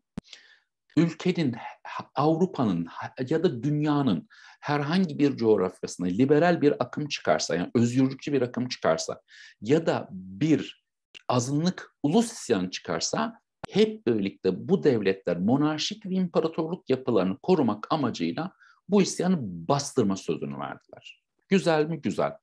Ancak arkadaşlar şöyle bir durum oldu. 1827'de Navarin yangını çıktı. Navarin yangını Navarin yangını İngiltere, Rusya ve Fransa'nın Osmanlı donanmasını Mora Yarımadası'nda yakması olayıydı. Navarin yangını Yunan isyanını desteklemek amacıyla bu üç devletin yaptığı yangındır. Navarin yangınında İngiltere, Rusya ve Fransa Mehmet Ali Paşa ve Osmanlı'nın birleşik donanmasını yaktı Mora Yarımadası'nda. Yani bunlar bizim donanmamızı yakarak neyi desteklediler? Yunan isyanını. Lan nerede Metternich? Hani Metternich'te bir isyan çıkınca bastıracaktınız çifte standart. O yüzden Navarin yangınıyla birlikte Metternich sistemi de çöktü. Çifte standart uyguladılar bunlar. Yani bana gelince e, arkadaşlar şey ne derler? Ee, iğne öbürüne gelince çuvaldızı batır arkadaş. Böyle bir şey yok mu? Böyle bir şey var mı? O yüzden Navarin yangını Metternich sistemini bitirdi. Biz o yüzden şöyle bir şey söyleyeyim. Avrupa'da tamamen bitmesi 1830 ihtilalleriyle oldu. 1830 ihtilalleriyle Avrupa'da birçok demokratik devletler kurulacak. İsviçre demokrasi olacak. Belçika kurulacak demokrasi olacak. Fransa anayasal monarşi meşrutiyete geçecek. Yani Metternich çökecek. Bu nedenle son cümleyi kuruyorum arkadaşlar. Bu nedenle 1800 1818, 1818, Viyana'dan sonraki tarih 1818. 1830 yılları arası Avrupa'da restorasyon dönemi olarak geçer. Yani diğer bir ifadeyle devrim karşı devrim olarak geçer. Devrim nedir? Devrim nedir? Şudur. Devrim Fransız ihtilalidir. Peki karşı devrim nedir? Metternich sistemidir. Anlaştık mı arkadaşlar? Devrim karşı devrim. Peki bu restorasyon bizim adımıza neyle çöktü? Yani Metternich sistemi neyle çöktü? Navarin yangınıyla çöktü. Yunan isyan destekledin sen. Çifte standart. Peki onların tarihine göre Metternich, Metternich ülkeyi terk etti zaten 1830 ihtilalleriyle. Yani Avusturya'yı terk etti. Arkadaşlar onların tarihinde neyle bitti? 1830 ihtilalleriyle bitti. Bağlantı da bu. O zaman Fransız ihtilalinin ortaya çıkardığı fikirleri engellemek amacıyla Avrupalı devletler 1815'te Viyana Kongresi'ni topladılar. Viyana Kongresi'nde bir şark sorunu ortaya çıktı.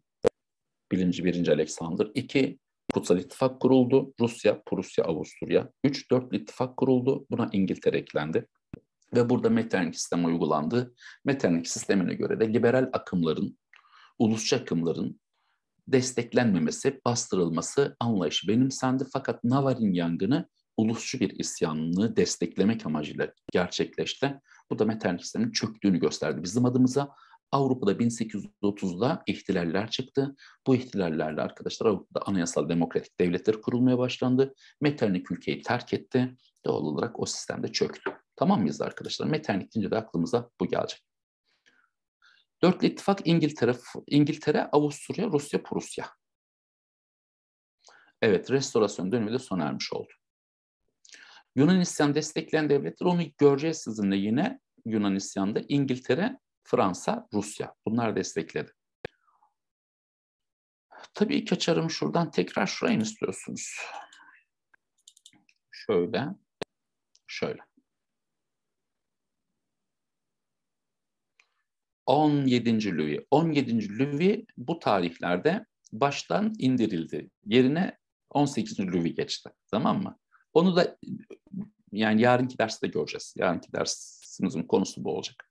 Şöyle bir daha bakayım arkadaşlar.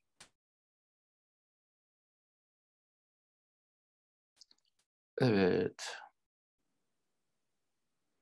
Bilge 2022 ile 2021 birbirinden farklı. Elinde 2021 varsa yeterli. Tamam mı?